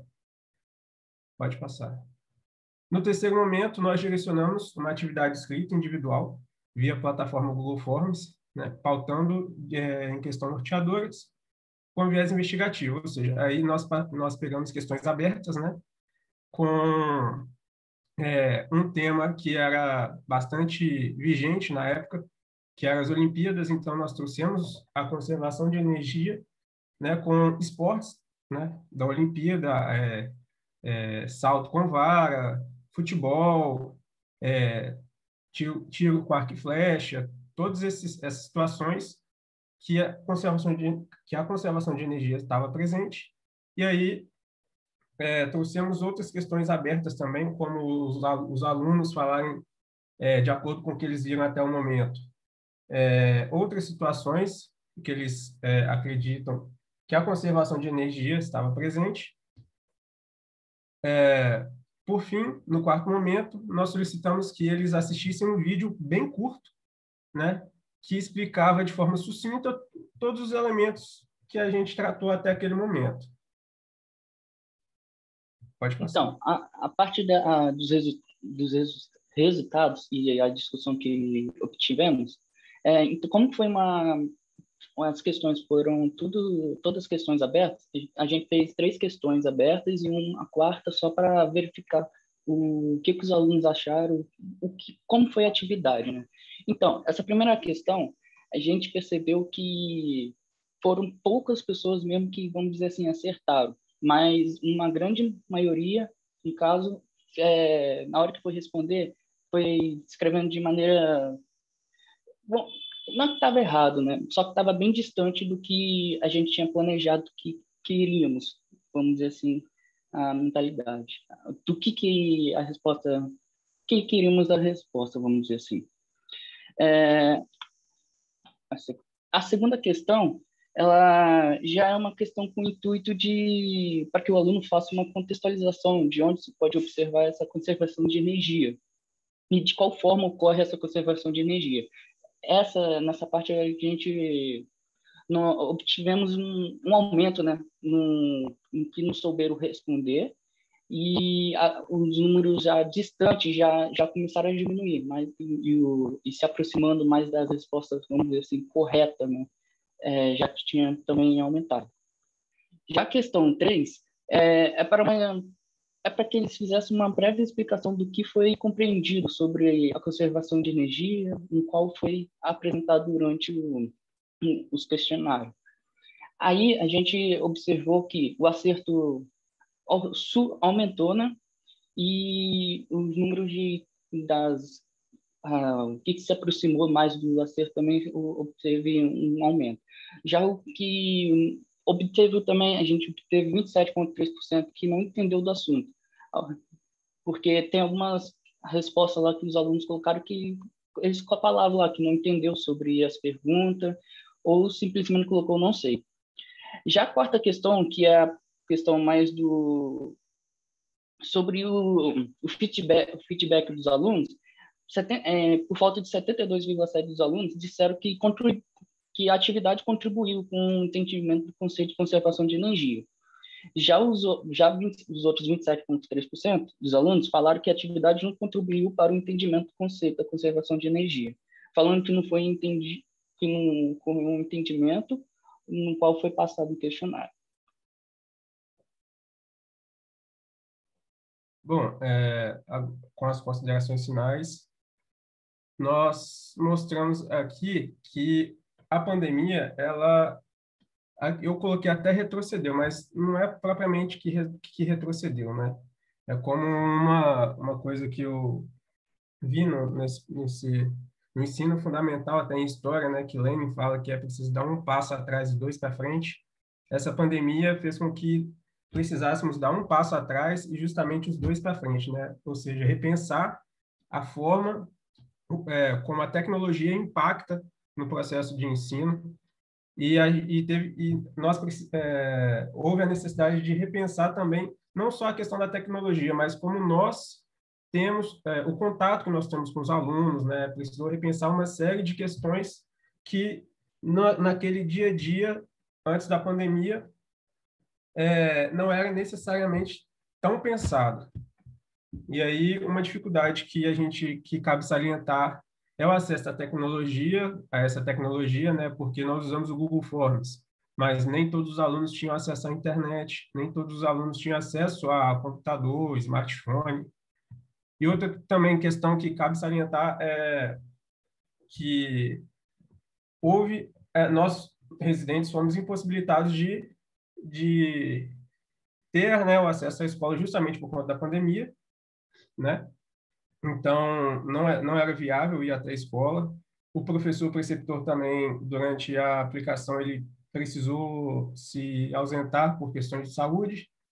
E aí teve uma série de questões que impactou na nossa na aplicação da nossa intervenção, inclusive também uma baixa adesão, cerca de 11 alunos apenas do primeiro ano é, fizeram né, parte dessa aplicação até por conta da questão do, de parte dos alunos que se sentiram é, é, seguros em ir à escola poderiam ir, mas quem não, não, não estava é, se sentindo confortável poderia ficar em casa. Então, é, não houve uma certa obrigatoriedade de cumprir com as atividades da intervenção, né? E aí, mas de acordo com os, com os 11 alunos que a gente é, que participaram da nossa intervenção, a gente viu que houve uma, uma, uma, um crescimento gradual né, acerca da compreensão deles do que é a conservação de energia e acredito que os nossos objetivos foram aí, é, alcançados. Pode passar. E aí os agradecimentos, primeiramente a gente agradece a CAPES, né, é, o apoio financeiro, né, estimulando a pesquisa. Em segundo lugar, o IFES, né, em especial o Campus Cariacica, e também a Escola Professora Maria Penedo e a Secretaria de Educação. E as nossas referências, a gente utilizou o livro da Ana Maria Pessoa de Carvalho, Calor e Temperatura, perdão, o GREF. Usamos algumas coisas até do Moisés, né, é, do Pietro Cola e do Ramalho. E, e é isso aí. Muito obrigado. Joia, pessoal. É...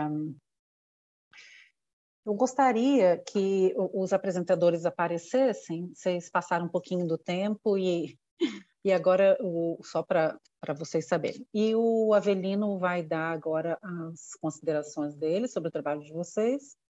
E eu gostaria que vocês aparecessem no vídeo. Pode ser, para poder responder ao Avelino? Claro. Oi, gente, boa noite. Parabéns pela apresentação. É, quero parabenizar a, aos professores de vocês, né, o preceptor. Eu confesso que eu não conhecia esse programa de residência pedagógica, é, achei muito interessante e depois tenho até, vou até procurar saber melhor a respeito. Né? Eu tenho fiquei muito curioso, tenho muitas perguntas a respeito que nem vão caber aqui, então vou é, tentar me ter apenas a, a, dois aspectos. Um, quanto à apresentação, que talvez por eu estar um pouco fora do, do contexto é, de vocês, eu fiquei demorei um pouco para entender que conservação de energia era era um conceito da física, né, das leis de conservação de energia. E até eu me situar aqui, eu demorei um pouquinho né, tentando entender se estavam falando de, de economia de energia, de então foi mais uma questão minha aqui de tentar me, me sintonizar no, no assunto de vocês. É, então, se tiver algum lugar que vocês possam deixar um pouco mais claro dentro de que domínio que vocês estão tratando, né, para uma audiência mais aberta igual essa que vocês estão aqui hoje, é importante, tá? E quando vocês trataram de quatro questões específicas, né, de, de cunho é interessante também, às vezes, apresentar quais foram as questões para que uh, os avaliadores e quem estiver lendo, né, eu sei, tenho certeza que no texto vai estar, mas aqui na apresentação eu fiquei sem ter uma noção de qual o grau de dificuldade dessas questões, qual o grau de profundidade né, que, que exigia do, do, respondente. Então, é interessante que, além de colocar a questão 1, 2, 3 e 4, colocar um exemplo da questão para a gente ter uma noção de qual, qual a profundidade dela. Uhum. E uma pergunta que eu tenho, assim, quando vocês apresentaram o questionário, a pessoa respondia no texto no campo aberto e passava para a próxima, né? É, talvez uma metodologia que, logo após a pessoa responder em texto aberto, vocês apresentassem para ela qual era a resposta esperada, né, o gabarito, é, para que ela pudesse ler, no caso dela dominar o assunto e comparar com a resposta que ela deu e marcar num próximo campo se ela acertou ou não. Dessa uhum. forma, vocês poderiam captar é, além do conhecimento de vocês, assim, se a pessoa compreendeu a pergunta e, e ela respondeu corretamente, vocês também poderiam capturar se a pessoa é, conseguiu, é, depois de ler a resposta correta, se ela conseguiu compreender que o que ela respondeu estava correto ou não, e, se, e mais, se, se ela respondeu não de forma não muito precisa, né, é, se ela percebeu que o correto é outro ou se ela continua achando que a resposta dela estava correta. Então, talvez é, pudesse ajudar vocês na análise também. Mas, de toda forma, parabéns aí pelo trabalho. Achei muito interessante e vou procurar me aprofundar aí nessa, nessa iniciativa. Obrigado, a gente agradece pelo feedback e a, a gente não é, só não tratamos mais especificamente, até por conta do tempo que a gente até passou um pouco, a gente pede até desculpa por conta disso. E, mas a gente agradece pela, pelo feedback, né, pelos conselhos. E caso é, queira ver a, o questionário, etc., a gente pode disponibilizar sem nenhum problema.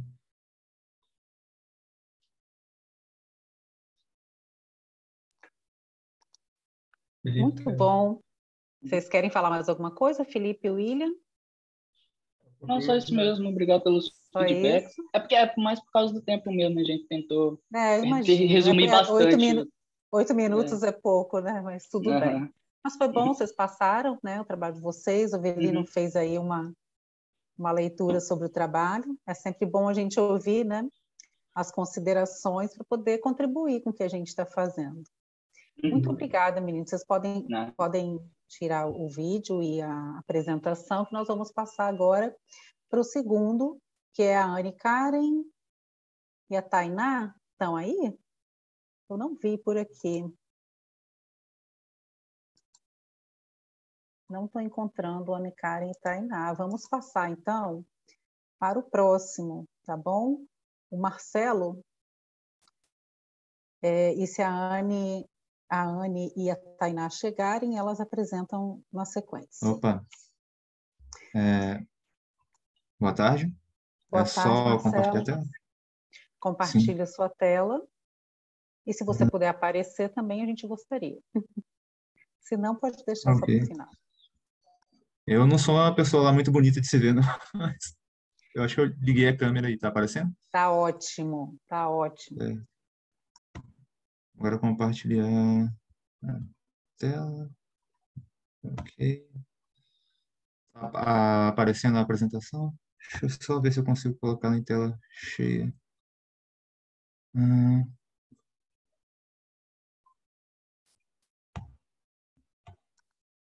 Ué. É aqui do lado. Acho que eu não não estou conseguindo. É, então, eu posso apresentar da forma que está? Pode sim, tá Ah, funcionando, tá- a gente está conseguindo ver. Sim. É, ah, apareceu aqui no canto. Beleza.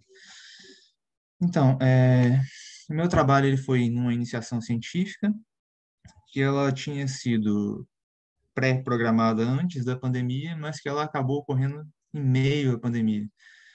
Isso acabou mudando um conjunto de coisas, né? E também teve algumas coisas na programação prévia dela que a gente não gostou e acabou alterando. Se vocês olharem o título que foi colocado, estava como experimento de mecânica. Só que no início da iniciação, a gente fez, a gente tentou buscar alguns que mostravam o uso do Arduino em experimentos de física e a gente percebeu que mecânica era o tipo de experimento que mais tinha. Então a gente meio que extrapolou isso para outras áreas da física e também um pouquinho para algumas áreas da tecnologia, para gerar alguns experimentos diferentes que os alunos conseguissem montar.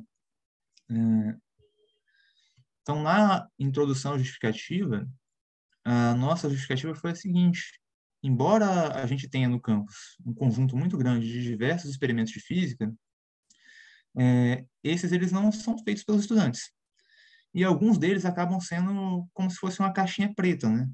Algo que você vai lá, liga, faz determinadas medidas e funciona. Você acaba se privando de, de cometer certos erros, ah, acaba não tendo é, um conhecimento mais profundo da, do que você precisa de física para montar aquele determinado experimento, principalmente porque ele já está pronto, né? Você acaba não tendo que passar pelos erros para montar ele. Isso tira um pouco a experiência dos alunos. E o nosso, na verdade, esse não foi feito só comigo, foi em conjunto com alguns alunos do ensino médio. E o nosso orientador, é, ele já tinha trabalhado com Arduino em, algum, em algumas etapas, ele queria fazer uma apostila e um conjunto de experimentos para trabalhar com o ensino médio, num, num curso separado. Então, o nosso objetivo geral era desenvolver um conjunto de roteiros didáticos que permitisse os alunos a montarem experimentos de física né, de forma fácil, com materiais de baixo custo. Eu não coloquei os objetivos específicos aqui, é, isso tem uma razão, um motivo.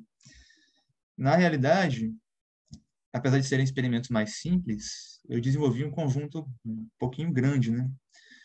Foram oito experimentos no total, didático, e além desses oito experimentos, a gente desenvolveu um capítulo da apostila básica sobre Arduino, é, com introdução, noções básicas de eletrônica. Então, cada roteirozinho desse tem um conjunto de objetivos específicos, tem um conjunto de tarefas, exercícios, acabou ficando muito denso para colocar numa apresentação de oito minutos. Mas, de forma geral, foi isso que foi desenvolvido.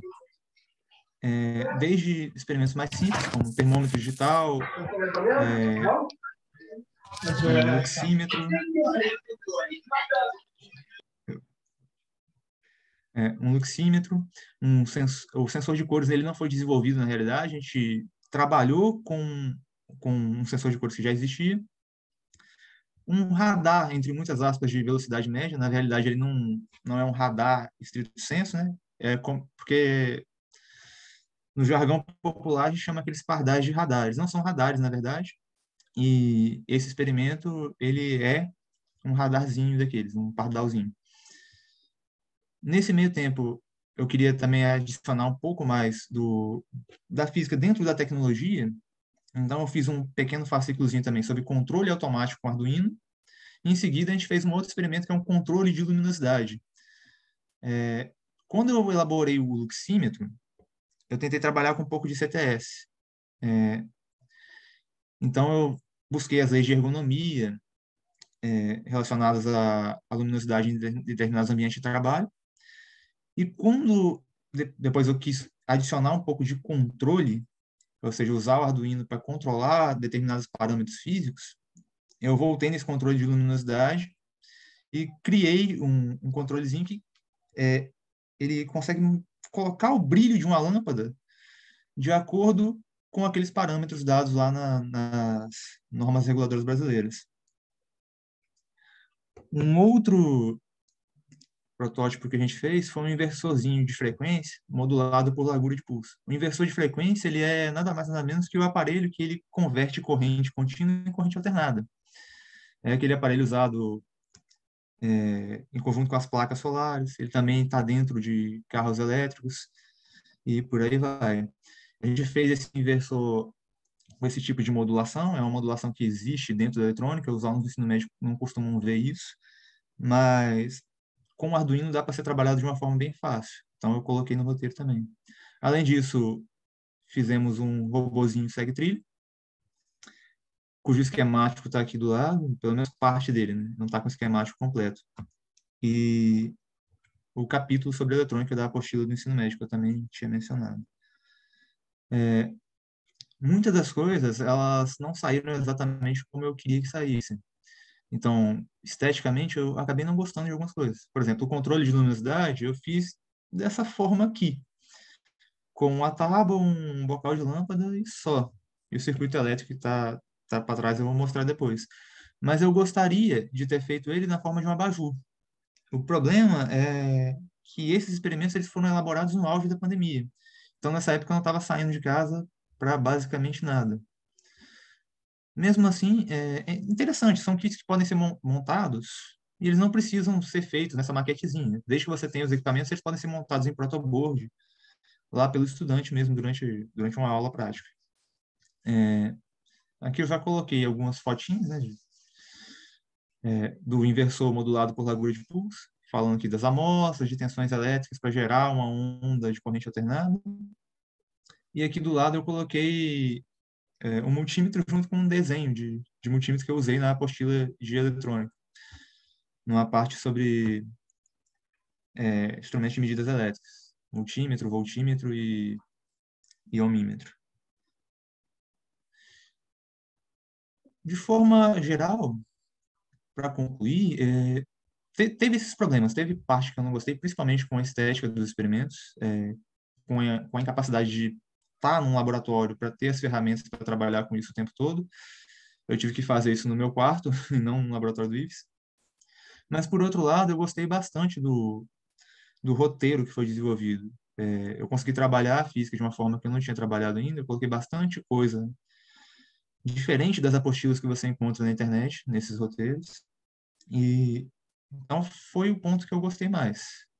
Eu não sei se isso acaba sendo interessante como discussão, é, eu queria muito também ter testado isso com alunos do ensino médio, mas não, não houve a possibilidade, infelizmente. As aulas não tinham retornado até o final da iniciação. E foi isso. Eu agradeci ao IFES né, devido à bolsa, à oportunidade. E basicamente é isso. Coloquei aqui algumas fotinhas do, dos experimentos, da capa, do, dos roteiros que foram feitos e as referências. Certo? Joia, Marcelo, muito obrigada. Olá. Agora vamos ouvir as contribuições do Avelino.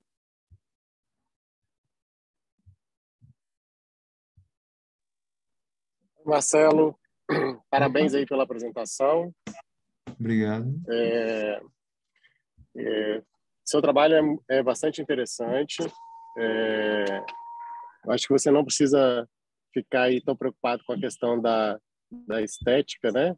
Do, de como é que ficou a montagem. Né? Eu acho que isso até é, traz um pouco, atrai um pouco daqueles que que têm um interesse mais robista e que isso não vai assustar, né? Tanto quando você vê aqueles circuitos lá, o esquema, né, dos circuitos e, e a gente vê que é, com às vezes com com equipamentos que você tem dentro de casa mesmo você consegue é, aplicar os conceitos que você vê, vê na aula, né, na vê na física. Então eu acho que isso foi até uma forma interessante de aproximar um pouco da realidade das pessoas, até porque todo mundo tá estava se adaptando né, a essa realidade de, de trabalhar e estudar de casa, né?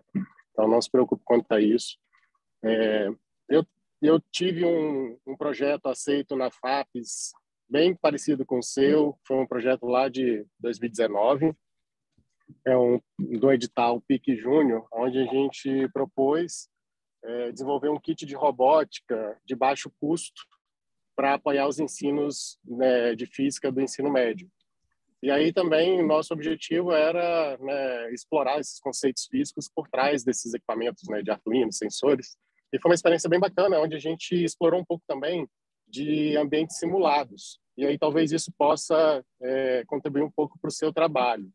Como você disse que não teve é, muita oportunidade de explorar né, de experimentar o seu kit com, com os alunos, talvez se você é, fizesse uma parte do roteiro, reproduzisse uma parte do roteiro usando softwares como o Tinkercad, que você consegue montar o circuito é, virtual né, na, na web e de forma online, é, talvez já tivesse uma, assim, um primeiro contato do aluno com o seu roteiro e depois ele poderia verificar as diferenças entre fazer isso no, num software de simulação e depois ver no laboratório de verdade, né? Físico mesmo, conectando os fios. É... No nosso projeto lá mesmo, a gente é, construiu uma simulação e fizemos o, o projeto em 3D do robô e depois imprimimos as peças em 3D exatamente igual na simulação que a gente tinha, né, é, rodando num software chamado eBoots. E aí foi bem bacana, porque os alunos puderam ver em simulação como é que funcionava a programação deles e depois quando botava na no robô de verdade, via que as coisas funcionavam um pouquinho diferentes, né? Então dava para ter uma noção é, em, em, duas realidades distintas. Então, assim, a única é, sugestão que eu daria para você ver se você consegue, de repente, explorar uma parte do roteiro usando circuitos é, simulados né, nesse software chamado Tinkercad. E gostaria até de visualizar um roteiro seu para ver como é que como é que ficou. Eu acho que deve ter ficado bem bem interessante, tá? Então, fica essas sugestões e parabéns pelo trabalho. Obrigado. Joia, muito obrigada, Marcelo. E agora, gente, nós vamos, eu vou verificar novamente se Anne, Karen e Tainá chegaram. Tainá está aí, né?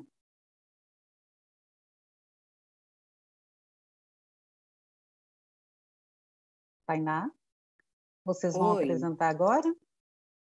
Então, a gente está com um probleminha, porque o, ele está abrindo, o Zoom está abrindo no celular, mas no computador a gente não está conseguindo abrir a apresentação. Certo. A Anne está com problema e eu também estou com problema. Tá, vamos fazer o seguinte, eu vou passar para o próximo e aí a gente tenta ver se até o final vocês conseguem ou a gente arruma uma solução, tá bom? Ok. Pode ser assim? Então tá Pode. É, então, as próximas a apresentarem, o próximo é o grupo da é a Jéssica, a Luana, Tainara. É, vou colocar a apresentação. Tá joia.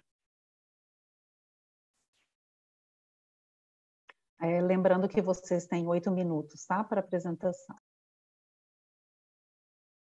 Ok. Pode dar início, está aparecendo? Sim. Então, boa tarde a todos e todas, né? É, nosso grupo é eu, Mara, Jéssica Rodrigues, Luana Gomes e Tainara Ferreira. Nós somos pibidianas, como supervisora temos a professora Gisele, coordenador de área, o professor Jorge Henrique Gualandi, é, nós somos do núcleo de matemática do campus de Cachoeiro de Itapemirim. É, nós quatro vamos falar um pouco né, sobre a nossa apresentação e a Jéssica vai dar início.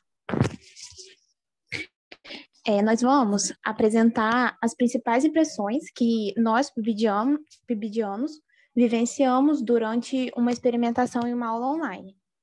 É, essa experimentação foi feita na Escola de Ensino Médio Sei Átila de Almeida Miranda, que é parceira do PIBID. É, nós fizemos a experimentação com os alunos, com 11 alunos da primeira série do ensino médio. É, nós, PIBIDianos, estávamos de forma, de forma online e os alunos estavam de forma presencial no laboratório de informática da escola. É, nós trabalhamos os conteúdos de relações métricas no triângulo retângulo e o teorema de Pitágoras. É, os objetivos da intervenção é desenvolver a habilidade dos alunos para resolver problemas envolvendo relações métricas no triângulo retângulo, interpretar problemas interdisciplinares relacionados ao conteúdo estudado e associado ao cotidiano dos alunos. É, falando um pouco do referencial teórico, é, foi elaborada uma sequência didática né, para a gente estar tá trabalhando o conteúdo de relações métricas no triângulo retângulo, e nós concebemos o que é uma sequência didática de acordo com Zabala. Ao falar que sequência didática é um conjunto de atividades ordenadas, estruturadas e articuladas para a realização de certos objetivos educacionais, que têm um princípio e fim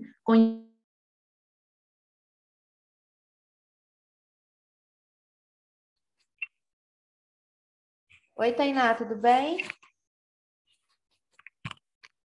Eu vou te, eu sou da Congresso, eu vou te auxiliar na sua para fazer funcionar, né, a sua apresentação. Ah, sim. Ei. Ah? Não, eu tomei um susto porque saiu de lá do. É, saiu da apresentação. Deixa eu te perguntar, você está com o PDF aberto no computador? Então, eu estou abrindo, estou vendo se eu consigo abrir agora o PDF. Só um instantinho. Tá bem.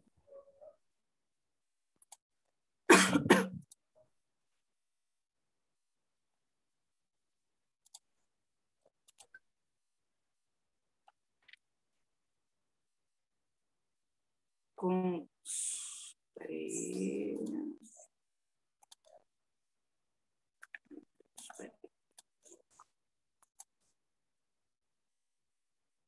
Aí, quando você abrir o PDF no computador, é só você clicar uhum. em Share Screen aqui no Zoom. Aí você vai selecionar Entendi. a tela que está a sua, a sua apresentação em PDF. Entendi. Se você quiser fazer o teste aqui, é só você apertar em Share Screen. Vou, aper... Vou enviar. O, a minha, a, a Anne, ela não conseguiu, ela não recebeu, na verdade, o link. Então, eu tentei mandar para ela, porque né, a gente tinha recebido a mensagem para poder compartilhar, só que ela não está conseguindo entrar. Então, é, eu vou te mandar aqui, você manda para ela, tá bem? Tá bom. É Tainá. Mas tenta, por favor, é, fazer o compartilhamento, porque a gente vai para outra, para a página, para a sala principal que está acontecendo as apresentações. Ok, deixa eu só tentar aqui o teste aqui. Ah, foi, abriu. Só um instantinho, deixa eu ver se. Ah, apareceu aí para você? Não, ainda não. Agora tá só um minuto que eu acho que vai aparecer. Apareceu. Entendi. Aí Porque você... eu tô... celular para o áudio e o computador para apresentação, tá? Tá. Não, sem problemas. Aí você vai fazer esse mesmo processo lá na outra sala, só que aí você vai passar os slides com o seu mouse, né? Você vai ter que apertar para baixo.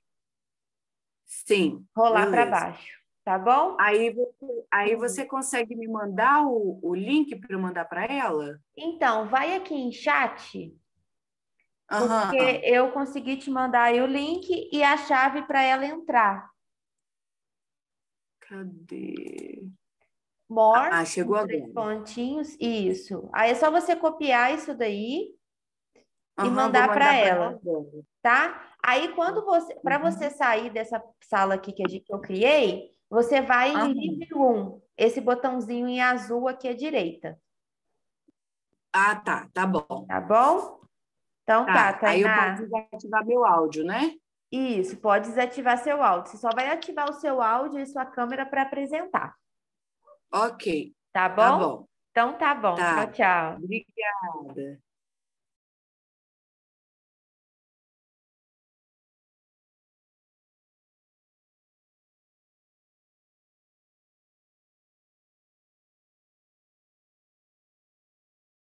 Uma dificuldade de provocar, de provocar o interesse dos alunos e chamar a atenção deles.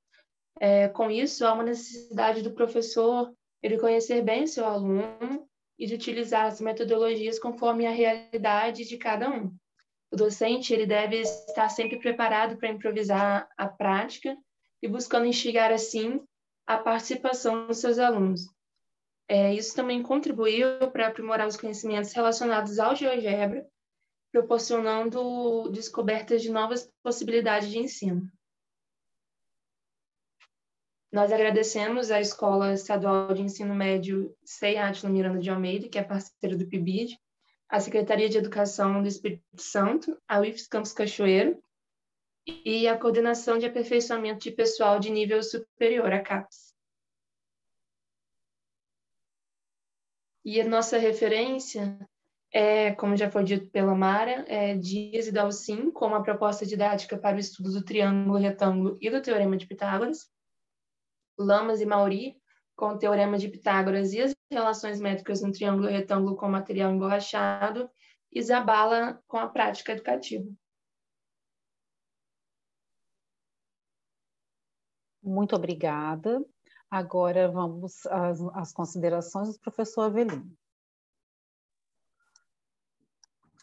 Gostaria de parabenizar as meninas pela apresentação. É, a apresentação ocorreu num nível de detalhe muito bom, Só, bastante só um apropriado. pedido. As meninas estão aparecendo? Alguma delas para poder agora para responder ao professor, se puderem?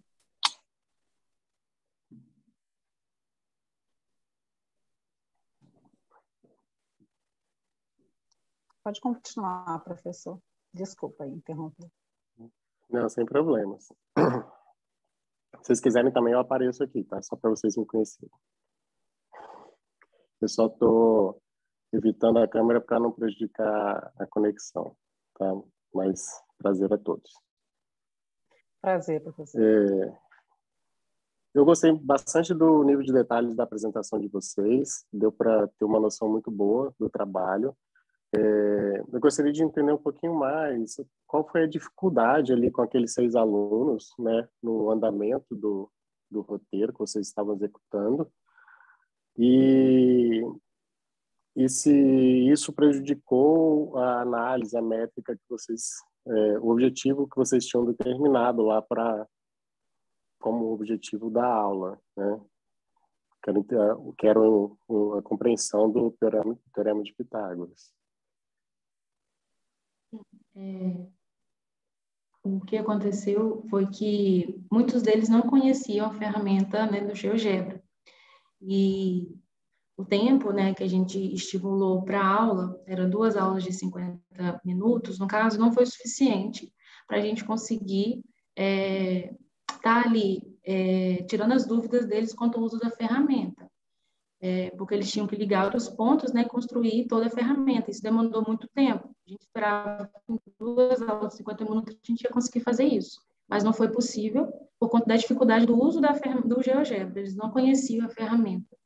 É, outro ponto é que a gente, como pipidiano, foi nosso primeiro contato com esses alunos, né? Por conta da pandemia, a gente não estava indo é, às escolas presencialmente, então foi nosso primeiro contato, primeira contato com eles, então a gente não tinha é, essa noção, né, do conhecimento deles quanto à ferramenta.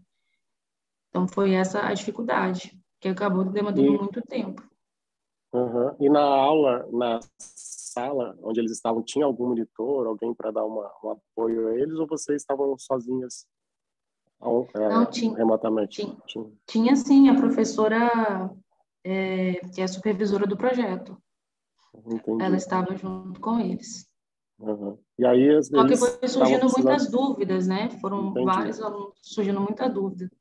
E eles estavam demandando um tempo maior para completar Isso. a atividade e não conseguiram, não conseguiram é, finalizar é, no tempo estimado, finalizar. isso aí. E somente dos outros cinco, né? Isso, os outros nos outros conseguiram.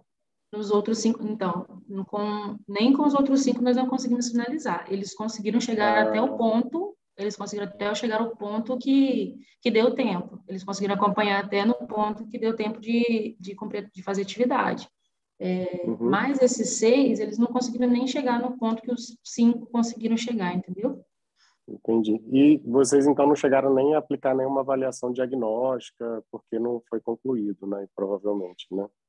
Nós até aplicamos um questionário, né, referente à primeira parte, e eles responderam essa primeira parte, até onde nós conseguimos chegar, né? É, eles responderam sim um questionário. E você mencionou sobre a questão da sequência didática, né? Isso é, foi empregado nesse roteiro de aula que vocês desenharam e vocês acham que é, de alguma forma assim isso ajudou isso ajudou ou contribuiu ou prejudicou nesse nesse caso específico assim do do GeoGebra minha pergunta é a seguinte será que foi dúvida deles com o GeoGebra ou será que a metodologia que vocês estavam é, experimentando trouxe alguma novidade que eles não estavam preparados? É, eu acho que pode ter sido as duas coisas, é, porque nós começamos trabalhando, é, falando, dando passo a passo né, dos comandos para eles. É, não estava funcionando.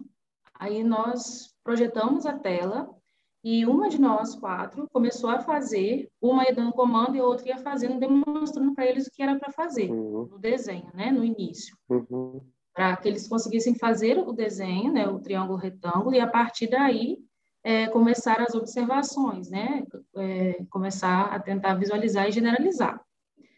É, e também eles tiveram um pouco de dificuldade, igual a gente viu que seis não conseguiu. Acho que o uso mesmo da ferramenta foi complicado para eles por ser algo novo. Então, acho uhum. que se uhum. tivesse uma aula antes, só para a gente mostrar para eles, né, para eles manipularem, é, eu acho que teria sido um pouco melhor nesse quesito aí, de, de conseguir mexer na ferramenta. Se as meninas quiserem acrescentar alguma coisa. Não, até por esse motivo da, deles, não deles não conseguirem mexer na ferramenta, é importante, como a gente evidenciou ali, que o professor conheça bem a realidade do aluno. Né? No nosso caso, a gente não conhecia, não teve esse contato com o aluno antes, então a gente não sabia que eles sabiam mexer nesse software ou não. Tá, tudo bem.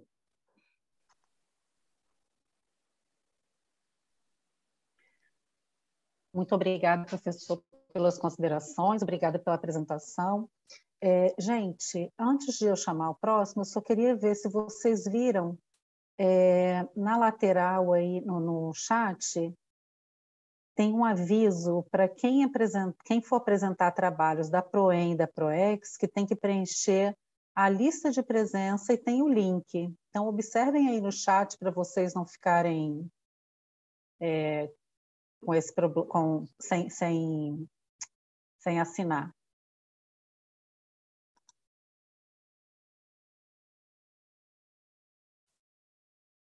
Ok? Então, agora, é, vamos para a próxima apresentação. é Marisson, Bruno Isso e mesmo. Adriano ou é Ricardo? É Adriano ou Ricardo, não é isso? O Adriano é o orientador. Ah, tá. Tá Então certo? é Eu e Bruno. Marisson e Bruno. Tá Isso. bom. Deixa eu Por tentar botar favor. minha, meu vídeo aqui para. Não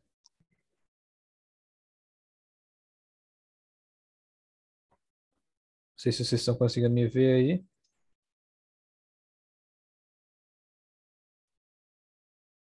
Sim.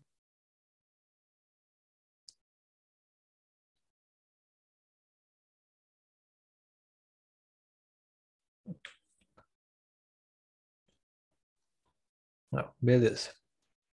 Então, boa noite, pessoal. Nós- é, eu sou o Marison, como já falamos aqui, e eu, juntamente do Bruno, fizemos esse trabalho da física por trás dos acidentes de automóveis, que foi uma abordagem online durante essa pandemia de Covid-19. né?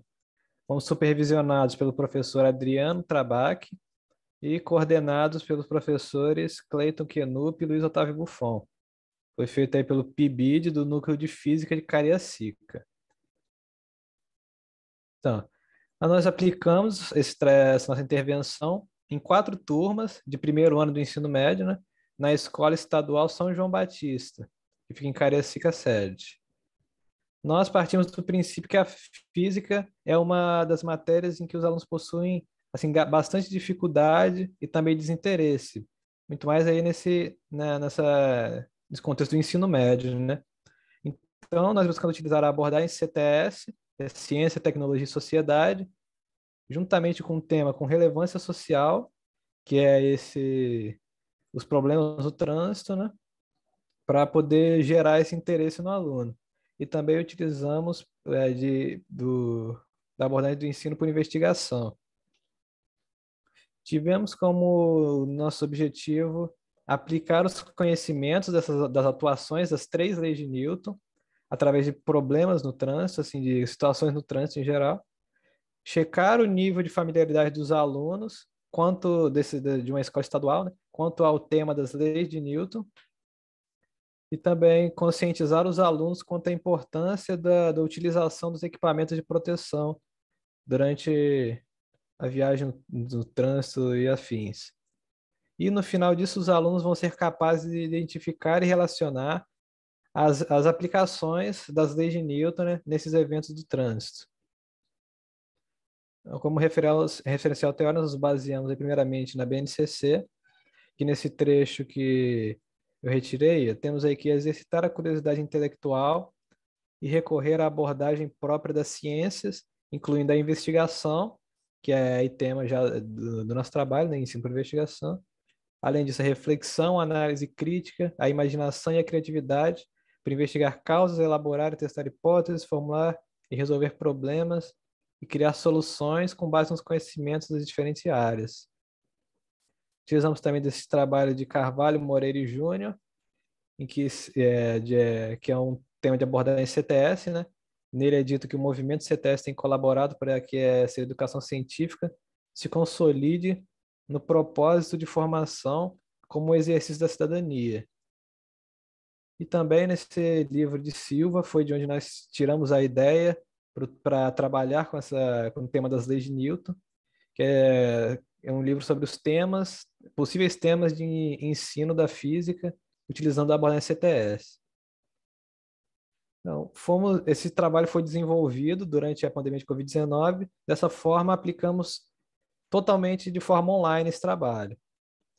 Tivemos como nosso principal aliado nesse processo aí o WhatsApp, o aplicativo WhatsApp, em que os alunos poderiam se comunicar conosco, e também nós criamos grupos para poder nos comunicar mais facilmente com eles.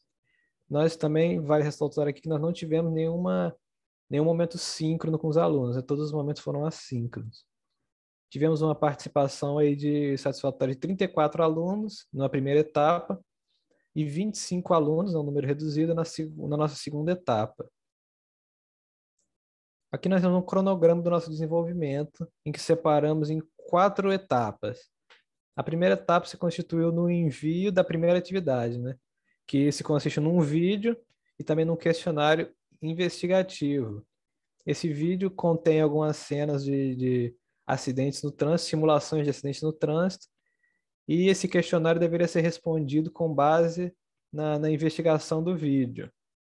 Então, com o término dessa primeira atividade, né, após uma prorrogação que foi solicitada pelos próprios alunos, nós iniciamos a segunda etapa com o envio da segunda parte da atividade, que eles deveriam responder o mesmo questionário, era basicamente o mesmo questionário, porém nós pedíamos para eles se basearem mais é, agora com nas leis de Newton em si. Por isso nós enviamos para eles um texto de apoio para auxiliar eles nesse processo. Então, com, terminamos essa segunda atividade, após outra prorrogação que também foi solicitada pelos alunos. Na terceira etapa, nós enviamos um vídeo de correção para sanar as dúvidas restantes dos alunos. E, por fim, nós enviamos um formulário de opinião através da plataforma do Google Forms para podermos re, é, reunir um feedback aí por parte dos alunos. Então, quanto aos resultados, esses são os resultados dos nossos questionários. Nós separamos eles em quatro categorias, entre corretos, parcialmente corretas, incorretas, e também aqueles que não fizeram a questão, essa questão. Né? Nós separamos o questionário final e inicial, em que o questionário final é o questionário da primeira parte da atividade, da primeira aplicação, e o questionário final do segundo momento lá. Nós podemos ver aqui que existe uma quantidade bem grande de, de, de respostas incorretas no questionário inicial, quase, quase ausente a quantidade de questões corretas, e o questionário final, nós vemos que ainda existe bastante questões incorretas, porém um número maior de corretas e parcialmente corretas. Esse, essa grande quantidade de questões incorretas pode se dar ao fato de desse momento de pandemia que os alunos estavam passando, né? Eles acabam, podem acabar tendo esse ensino das leis de Newton prejudicado. Por isso que nós vemos, né, nós vemos aqui, nós vemos também essa evolução né, desse primeiro questionário para o segundo, em que no segundo questionário eles tinham o auxílio do material de apoio que enviamos para eles. Né? Quanto aos resultados que nós obtivemos do feedback dos alunos pelo formulário de opinião, obtivemos aí 23 respostas desses alunos. 12 deles relataram que gostaram dessa atividade, três gostaram muito, oito se sentiram indiferentes e apenas um não gostou. Eles tiveram, em sua maioria, dúvidas sobre as leis de Newton em si. Isso reforça o que a gente falou antes lá da talvez um um ensino debilitado sobre as leis de Newton por conta desse momento pandêmico. Eles também relataram não conseguir conectar o pouco que eles sabiam da matéria com a atividade, né? não conseguiam relacionar isso com as, os problemas no trânsito. O texto de apoio conseguiu ajudar 15 alunos, ajudou muito cinco desses alunos e não fez diferença para três deles. E quanto ao vídeo de correção, 11 alunos relataram não ter conseguido sanar as dúvidas nove conseguiram e apenas um relatou não ter dúvidas, né? Enquanto um, é, dois alunos sequer o vídeo. O motivo pelo qual, um dos motivos pelo decaimento do número de alunos entre essas atividades, eles relataram que foi porque eles esqueceram ou esqueceram desse do prazo, né? Aí quando eles lembraram do prazo ele tinha acabado, ou eles estavam trabalhando ou ocupados com alguma outra coisa nesses momentos aí e acabaram não conseguindo ter tempo para fazer essas atividades, mesmo depois de toda a prorrogação que nós demos. Eles relatam. Você já usou oito minutos, tá? É, vamos. Ah, sim, sim, sim, sim. Deixa eu... Não, só eles relataram assim, ter interesse na atividade e eles gostariam de ter mais material de apoio, mudar as questões e mais atividades com vídeos também. Os alunos demonstraram ter interesse aí nos temas dos problemas de trânsito e também nos vídeos. E chegamos ao ponto que é importante relacionar a física a esses problemas no trânsito, né? tanto para conscientizar os alunos quanto a segurança e também para reforçar o tema das leis de Newton. E deixamos como sugestão para trabalhos futuros, é, além de trabalhar em, de forma presencial, né, ter uma maior quantidade de textos de apoio, vídeos e uma variedade maior de questões. Isso aí é feedback dos próprios alunos. Né? E é isso aí, agradecemos à Escola São João Batista a Secretaria de Educação do Espírito Santo, a UIF, especialmente pelo campo de Cariacica, e também pela CAPES. E é isso aí, agora temos as referências. Muito obrigada pela apresentação, Marison. Passou somente um minuto. É, eu vou agora chamar novamente o professor Avelino para as considerações. Eu estava aqui ouvindo atentamente, achei o tema super relevante e fiquei curioso até para participar, para ver é, esse vídeo e ver as questões lá com a relação das leis de Newton. Achei muito, muito atual e é, parabéns aí pelo, pelo projeto. E gostaria de perguntar como, como vocês conseguem essa adesão dentro do PIBID, assim, com outras escolas, que, embora tenha tido um, uma diminuição entre uma interação e outra ali com esse experimento de vocês, né, eu considero essa adesão, assim, muito alta, né, quase que a turma toda, 35. Eu, no meu projeto lá de PIC Júnior, que eu, eu tenho cinco bolsistas de ensino médio, e eles recebem bolsa, eu ainda tenho dificuldade de, de conseguir um certo comprometimento deles por diversas razões, né? Pandemia, como vocês já mencionaram, e outro, outros problemas né, de agenda, assim. Então, queria até entender um pouquinho da experiência do PIBID, de como é possível né, conseguir essa adesão, porque isso é determinante para o resultado do, dos questionários e do, dos resultados de vocês, né? Sim. Quando, gente, quando nós iniciamos, nós sempre tivemos a intenção de trabalhar já com o WhatsApp, né? Mas inicialmente nós é, começamos a, a falar com os alunos por parte de um grupo aberto lá, um grupo geral dos ensinos médios e tudo mais. Só que aí nós não tivemos muita adesão, nós tivemos uma adesão de um, dois alunos, poucos alunos aderiram. Nós só conseguimos ter essa, essa adesão mais aceitável, por assim dizer, né, quando nós fizemos um grupo mais particular e começamos também a cobrar os alunos, né? Nós começamos a enviar também para quando nós víamos que que os alunos não estavam participando, nós enviávamos é, no privado mesmo, os professores encorajaram a gente a fazer isso para mandar para privado para ver se eles se eles também demonstravam mais interesse. Aí assim nós conseguimos esse número elevado de, de participação.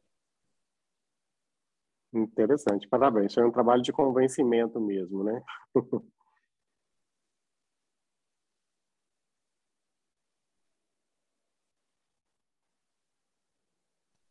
Andrômeda, eu estou satisfeito com voltei. as perguntas. Ah, tá joia, professor. Vamos voltar aqui, então. Muito obrigada, professor, mais uma vez, e Marison, pela apresentação. E vamos voltar aqui a Anne e a Tainá. Meninas, vocês conseguiram? Tainá? Então, eu, eu consegui aqui é, abrir o, o, o slide que no computador e pelo celular, só que a Anne ela está tendo problema, está travando para ela, tanto no celular quanto no computador, então ela não está conseguindo entrar de jeito maneira. E você consegue apresentar? Vamos lá. Vamos lá, então. Vamos compartilhar, então. Compartilha a sua tela. Só um instantinho. Vocês conseguem ver? Sim, estamos vendo, mas é bom você dar uns dois cliques na tela que ela vai ampliar.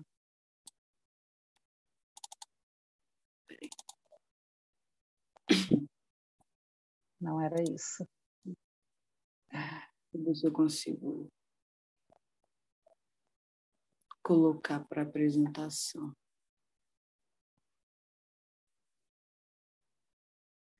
Deve ser no exibir, não?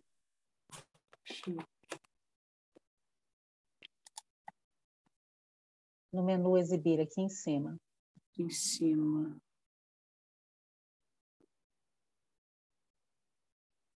Hum. Que está em PDF aqui.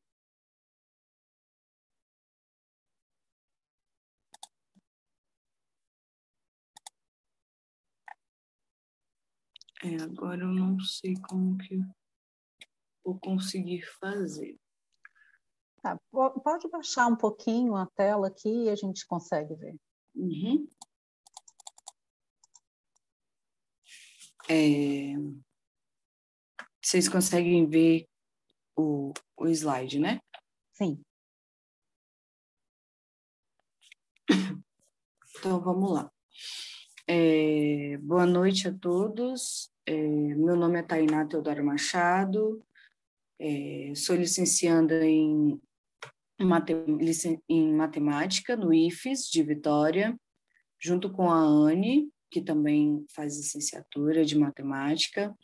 É, nós participamos do PIBID, aqui de Vitória, é, pela supervisão da professora Rosemary, que é professora no, na escola MF São Vicente de Paula, aqui no centro de Vitória, é, pela coordenação do professor Alex Jordani. E nós preparamos esse trabalho é, para falar um pouco sobre a flexibilização da didática utilizando os meios digitais, observando a necessidade dos alunos. É, esse projeto ele tem a ideia inicial de uma investigação né, da interferência que as tecnologias tiveram nesse processo do ensino remoto, né, voltado para também para a questão presencial e como isso influenciou né, no, no aprendizado dos alunos dentro do ensino da matemática. É... E o objetivo da intervenção que nós tivemos foi é, propiciar aos alunos a alternativa de aprender e revisar os conteúdos abordados em aula de forma divertida. Que seria isso? Usar os jogos, usar mais a, a o ensino lúdico para para facilitar, para flexibilizar o aprendizado desses alunos durante o processo remoto, até a volta do presencial, né? Que nós tivemos esse, esse período pandêmico, né? Que afetou muito o ensino. Então, nós voltamos para essa pesquisa de como isso influenciou, como essa, essa questão tecnológica, né? Influenciou no ensino dos alunos. É, e com isso, é, a gente teve como base é, é as, a nossa referência teórica né, da, da Lourdes Bernadette, que ela destaca que quando falamos é, do uso de, de jogos como suporte para o ensino, né, é, encontramos um número considerável de autores que, com, que compravam que compravam a eficácia, né, é, investiam, né, nesse nesse suporte para ter é, uma boa didática né, no, nas aulas. E além da, Lu, da, da Lourdes, a gente também tem o PIAED, que ele também fala dessa questão da, da inteligência através dos jogos, né? Essa, nessa concepção que os jogos consistem para assimilação de um novo método de ensino, né? Saindo daquele âmbito tradicional do professor no quadro, ensinando e os alunos aprendendo, absorvendo, e também é, aproveitar essa forma lúdica, né? uma forma mais divertida, mais descontraída, através da resolução, da resolução de problemas. É... E um, e um desse, e no decorrer da, do ensino que a gente presenciou dos alunos no remoto, a gente acabou criando o projeto Amarelinha de Fração, que nós pegamos esse conteúdo, que era um conteúdo mais difícil, né, que o sétimo ano estava tendo como aprendizado, e pegamos essa, essa disciplina, essa matéria, e botamos ela no sistema lúdico. Criamos essa amarelinha de fração, em que os alunos aprendiam, mas brincando, mesmo sendo remotamente. É... Infelizmente, né, como é, muitos alunos tinham dificuldade de acesso né, a essa tecnologia, então eles tiveram muita dificuldade para executar a, a atividade, né, a amarelinha de fração. Alguns conseguiram, outros não, mas foram uma proporção bem pouca. É, e também esperamos né, tentar reaver essa, refazer, né, na verdade, esse projeto agora que estamos no presencial, que voltamos para o presencial e não só no sistema híbrido, que é metade da turma num dia e metade na outra. Agora é a turma inteira, então resolvemos a, vamos aplicar novamente essa essa amarelinha de fração, além de outros jogos também que temos de desenvolvimento. Aqui tem um modelo, né, de algumas outras atividades que a gente pensa em aplicar, que é o dominó de frações e o muro de frações, trabalhando isso também dentro de sala de aula. O resultado e a discussão, né, é que ó, aos poucos os alunos estão voltando, percebemos que houve uma dificuldade, mesmo tendo esse acesso a, ao sistema digital, mas muitos tiveram dificuldade tendo que retomar a matéria, né? Então, a gente está num processo de aprendizagem, tentando também continuar esse sistema lúdico, mesmo estando no presencial. Perdão. As conclusões, né, que nosso projeto é voltado para os jogos como uma metodologia facilitadora, para poder tirar esse, esse peso tenso que os alunos estão né, saindo desse sistema remoto, voltando para o presencial, voltando para uma nova habitação novamente, né? E a gente vai buscar sempre abordar essa, essa precisão dos jogos, né? Porque, afinal de contas, são, é um ensino fundamental, eles ainda têm essa inocência. Então, a gente busca também essa parte da brincadeira como uma forma de aprendizagem também. É, os nossos agradecimentos aí à escola, né, que recebeu muito bem, a professora Rosemary, que nos recebeu, ficou muito feliz em ter abraçado esse projeto, a Secretaria de Educação, a UIFES, que também nos proporciona essa, essa oportunidade, e a CAPES, né, que tem esse, esse incentivo a nós do nível superior, né, com relação à docência. E aqui um pouco da nossa, da nossa referência, que é o PIA, ou são as bibliografias do, do na Psicologia e Psicologia, e Pedagogia, perdão, a formação também do símbolo na criança, que também é uma parte do artigo que ele fez, e tem a da Lourdes, que é a contribuição dos jogos no processo de ensino e aprendizagem. No mais, é isso. Muito obrigada, Tainá. É, agora chamo novamente o professor Avelino para as considerações. Obrigado pela apresentação, Tainá. É, eu até então achava que se falava Piaget, tá? E... Isso, eu não sei pronunciar certinho o nome, então eu também tive dificuldade. Como é um nome estrangeiro, né? A gente fica em dúvida, né? É, uma dúvida ali quando ele você menciona que ele fala do, da importância dos jogos, né, para a motivação, para o ensino. É, esses jogos são no sentido de jogos igual a gente entende hoje ou seriam mais no sentido de brincadeiras ou, ou atividades mais lúdicas? Então, seria um aprimoramento né, dessas, desse, desses jogos.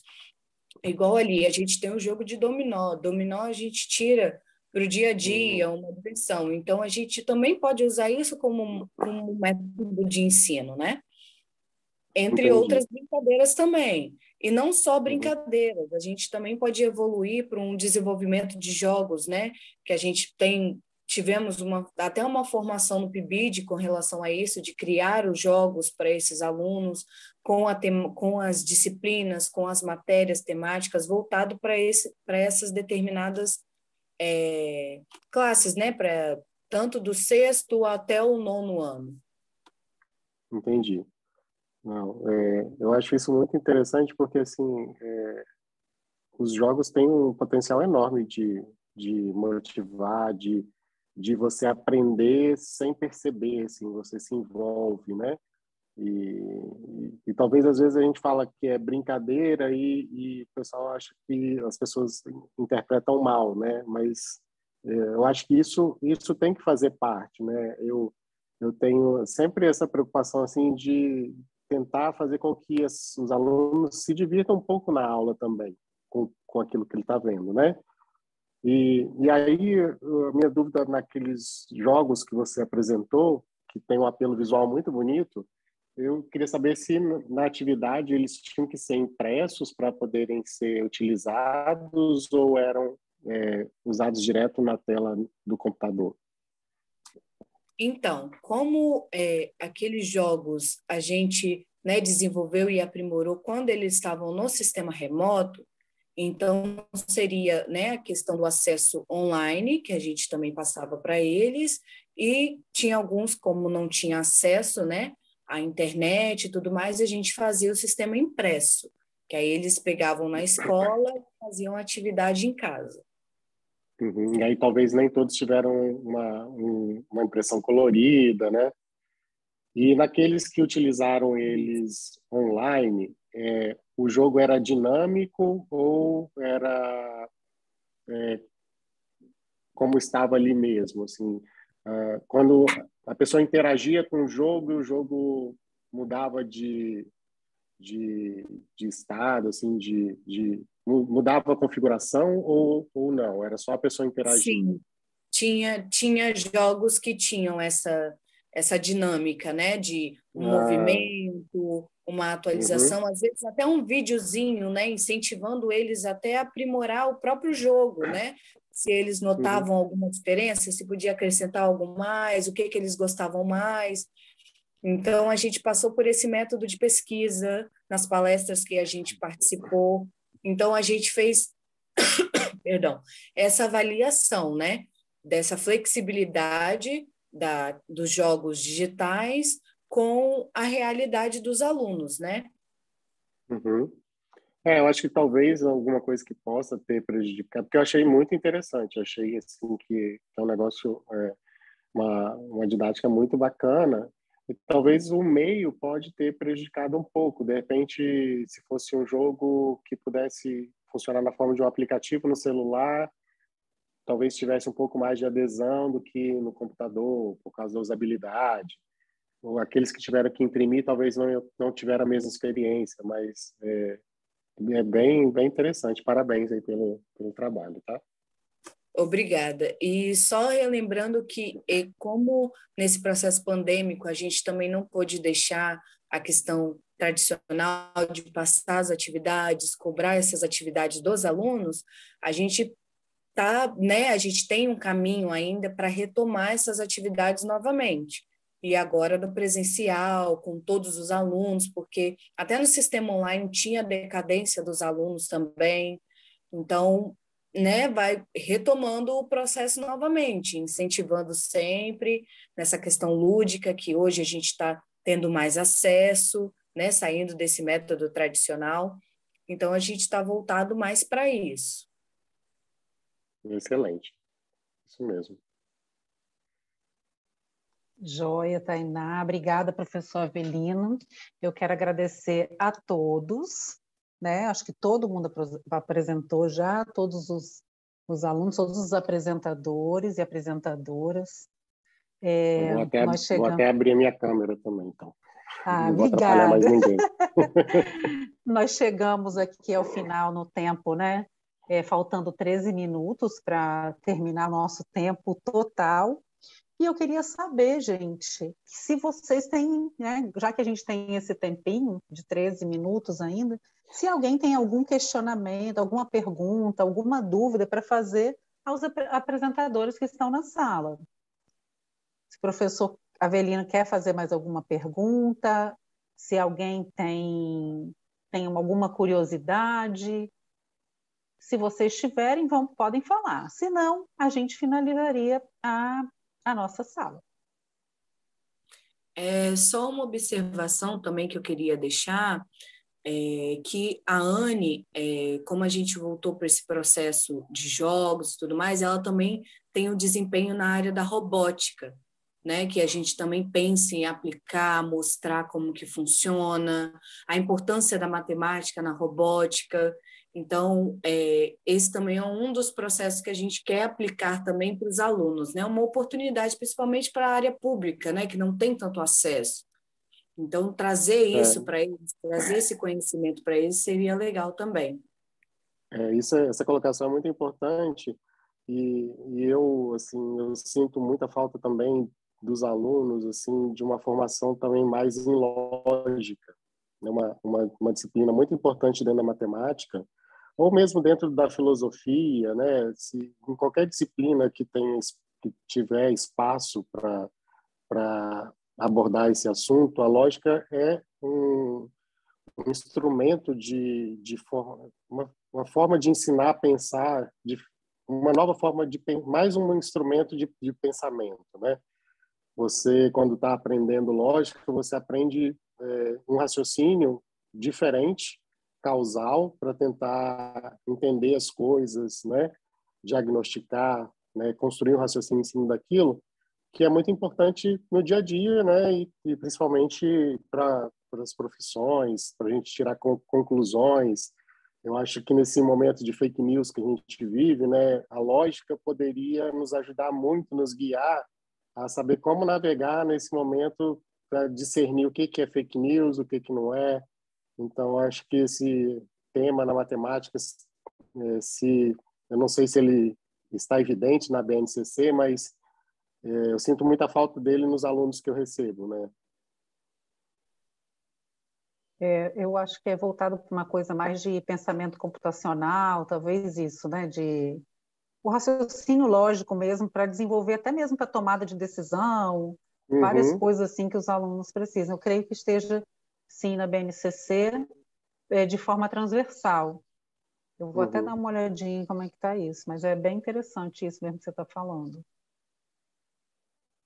É, Alguma pergunta, gente? Mais algum comentário? Eu queria, sim, de forma geral, saber se alguém quiser responder, né? Tiver. O que que tudo isso que vocês trabalharam aí acrescentou para vocês, enquanto que, que participaram desse processo, né? O que que isso acrescentou para vocês? Eu acho importante também da gente saber, né? Alguém quer falar sobre isso? Então, é, pelo menos para mim, o que acrescentou foi um conjunto de, de ferramentas. Quando eu comecei a CIC, é, eu ainda não tinha entrado na escola enquanto professor. Quando eu entrei, eu entrei na escola viva e tinha é, práticas experimentais. Nesse ponto, só o fato de eu ter comprado um kit com um monte de ferramentinhas, ter comprado um multímetro, ter comprado algumas outras coisinhas, já ajudou bastante eu conseguir trabalhar nessas práticas, porque apesar de ter elas na escola, não tenho material. Ah, imagino. Mas então você conseguiu, né, é, é, utilizar esse kit que você comprou e, e- e trabalhar isso nas aulas práticas e foi bom, né? Porque os resultados são melhores, né? Os alunos acho que aprendem mais, né, Marcelo? Sim, ao menos conceitualmente, você consegue ver um aprendizado muito diferente do que, do que você passa no quadro. Eles não têm interesse nenhum pelo que é passado no quadro, enquanto a prática atrai um pouco mais. Até porque, né, é, é, até o Avelino pode falar aí também sobre isso, até porque o profissional que se espera hoje no mercado, né, profissional que a gente vai formar, a gente que é professor, né, a gente vai formar, é, esse profissional não é um, é um profissional que, que pensa, é um profissional que tem que tomar decisão, é um profissional que inova, né, que cria, é, que é autônomo, né, que tem autonomia, e a gente não consegue formar esses profissionais sem essas práticas. A gente não consegue colocar, é, formar pessoas que pensam se eles não tiverem prática, eles- a prática mesmo de, de, de serem líderes de uma equipe, de tomar decisões, de trabalhar a comunicação, né? E é isso aí que a gente é, são pessoas que a gente vai ter que formar agora para o mercado de trabalho. Que já acontece isso, né? Já precisa disso e a gente mudando essas práticas, né? Com os alunos é, trazendo essas práticas, né? Para a sala de aula, é, para ter uma aprendizagem mais ativa dos alunos e não passiva, né? Aquela que a gente abre a cabeça do aluno, enfia o conteúdo e fecha, achando que ele vai aprender, né? E mas não, uma, uma coisa mais que o aluno já, já participa mais, né? Que ele tem, que ele é o ativo do processo e não somente passivo recebendo as informações. Mas gostei muito das apresentações de vocês.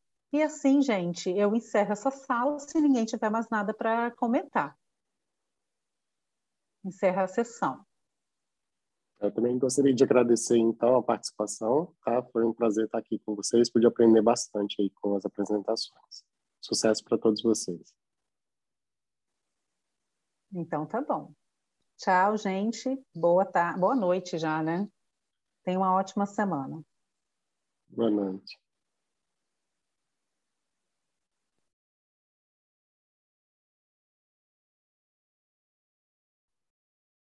Encerramos o ao vivo, tá bom, Andromeda? Tudo certo.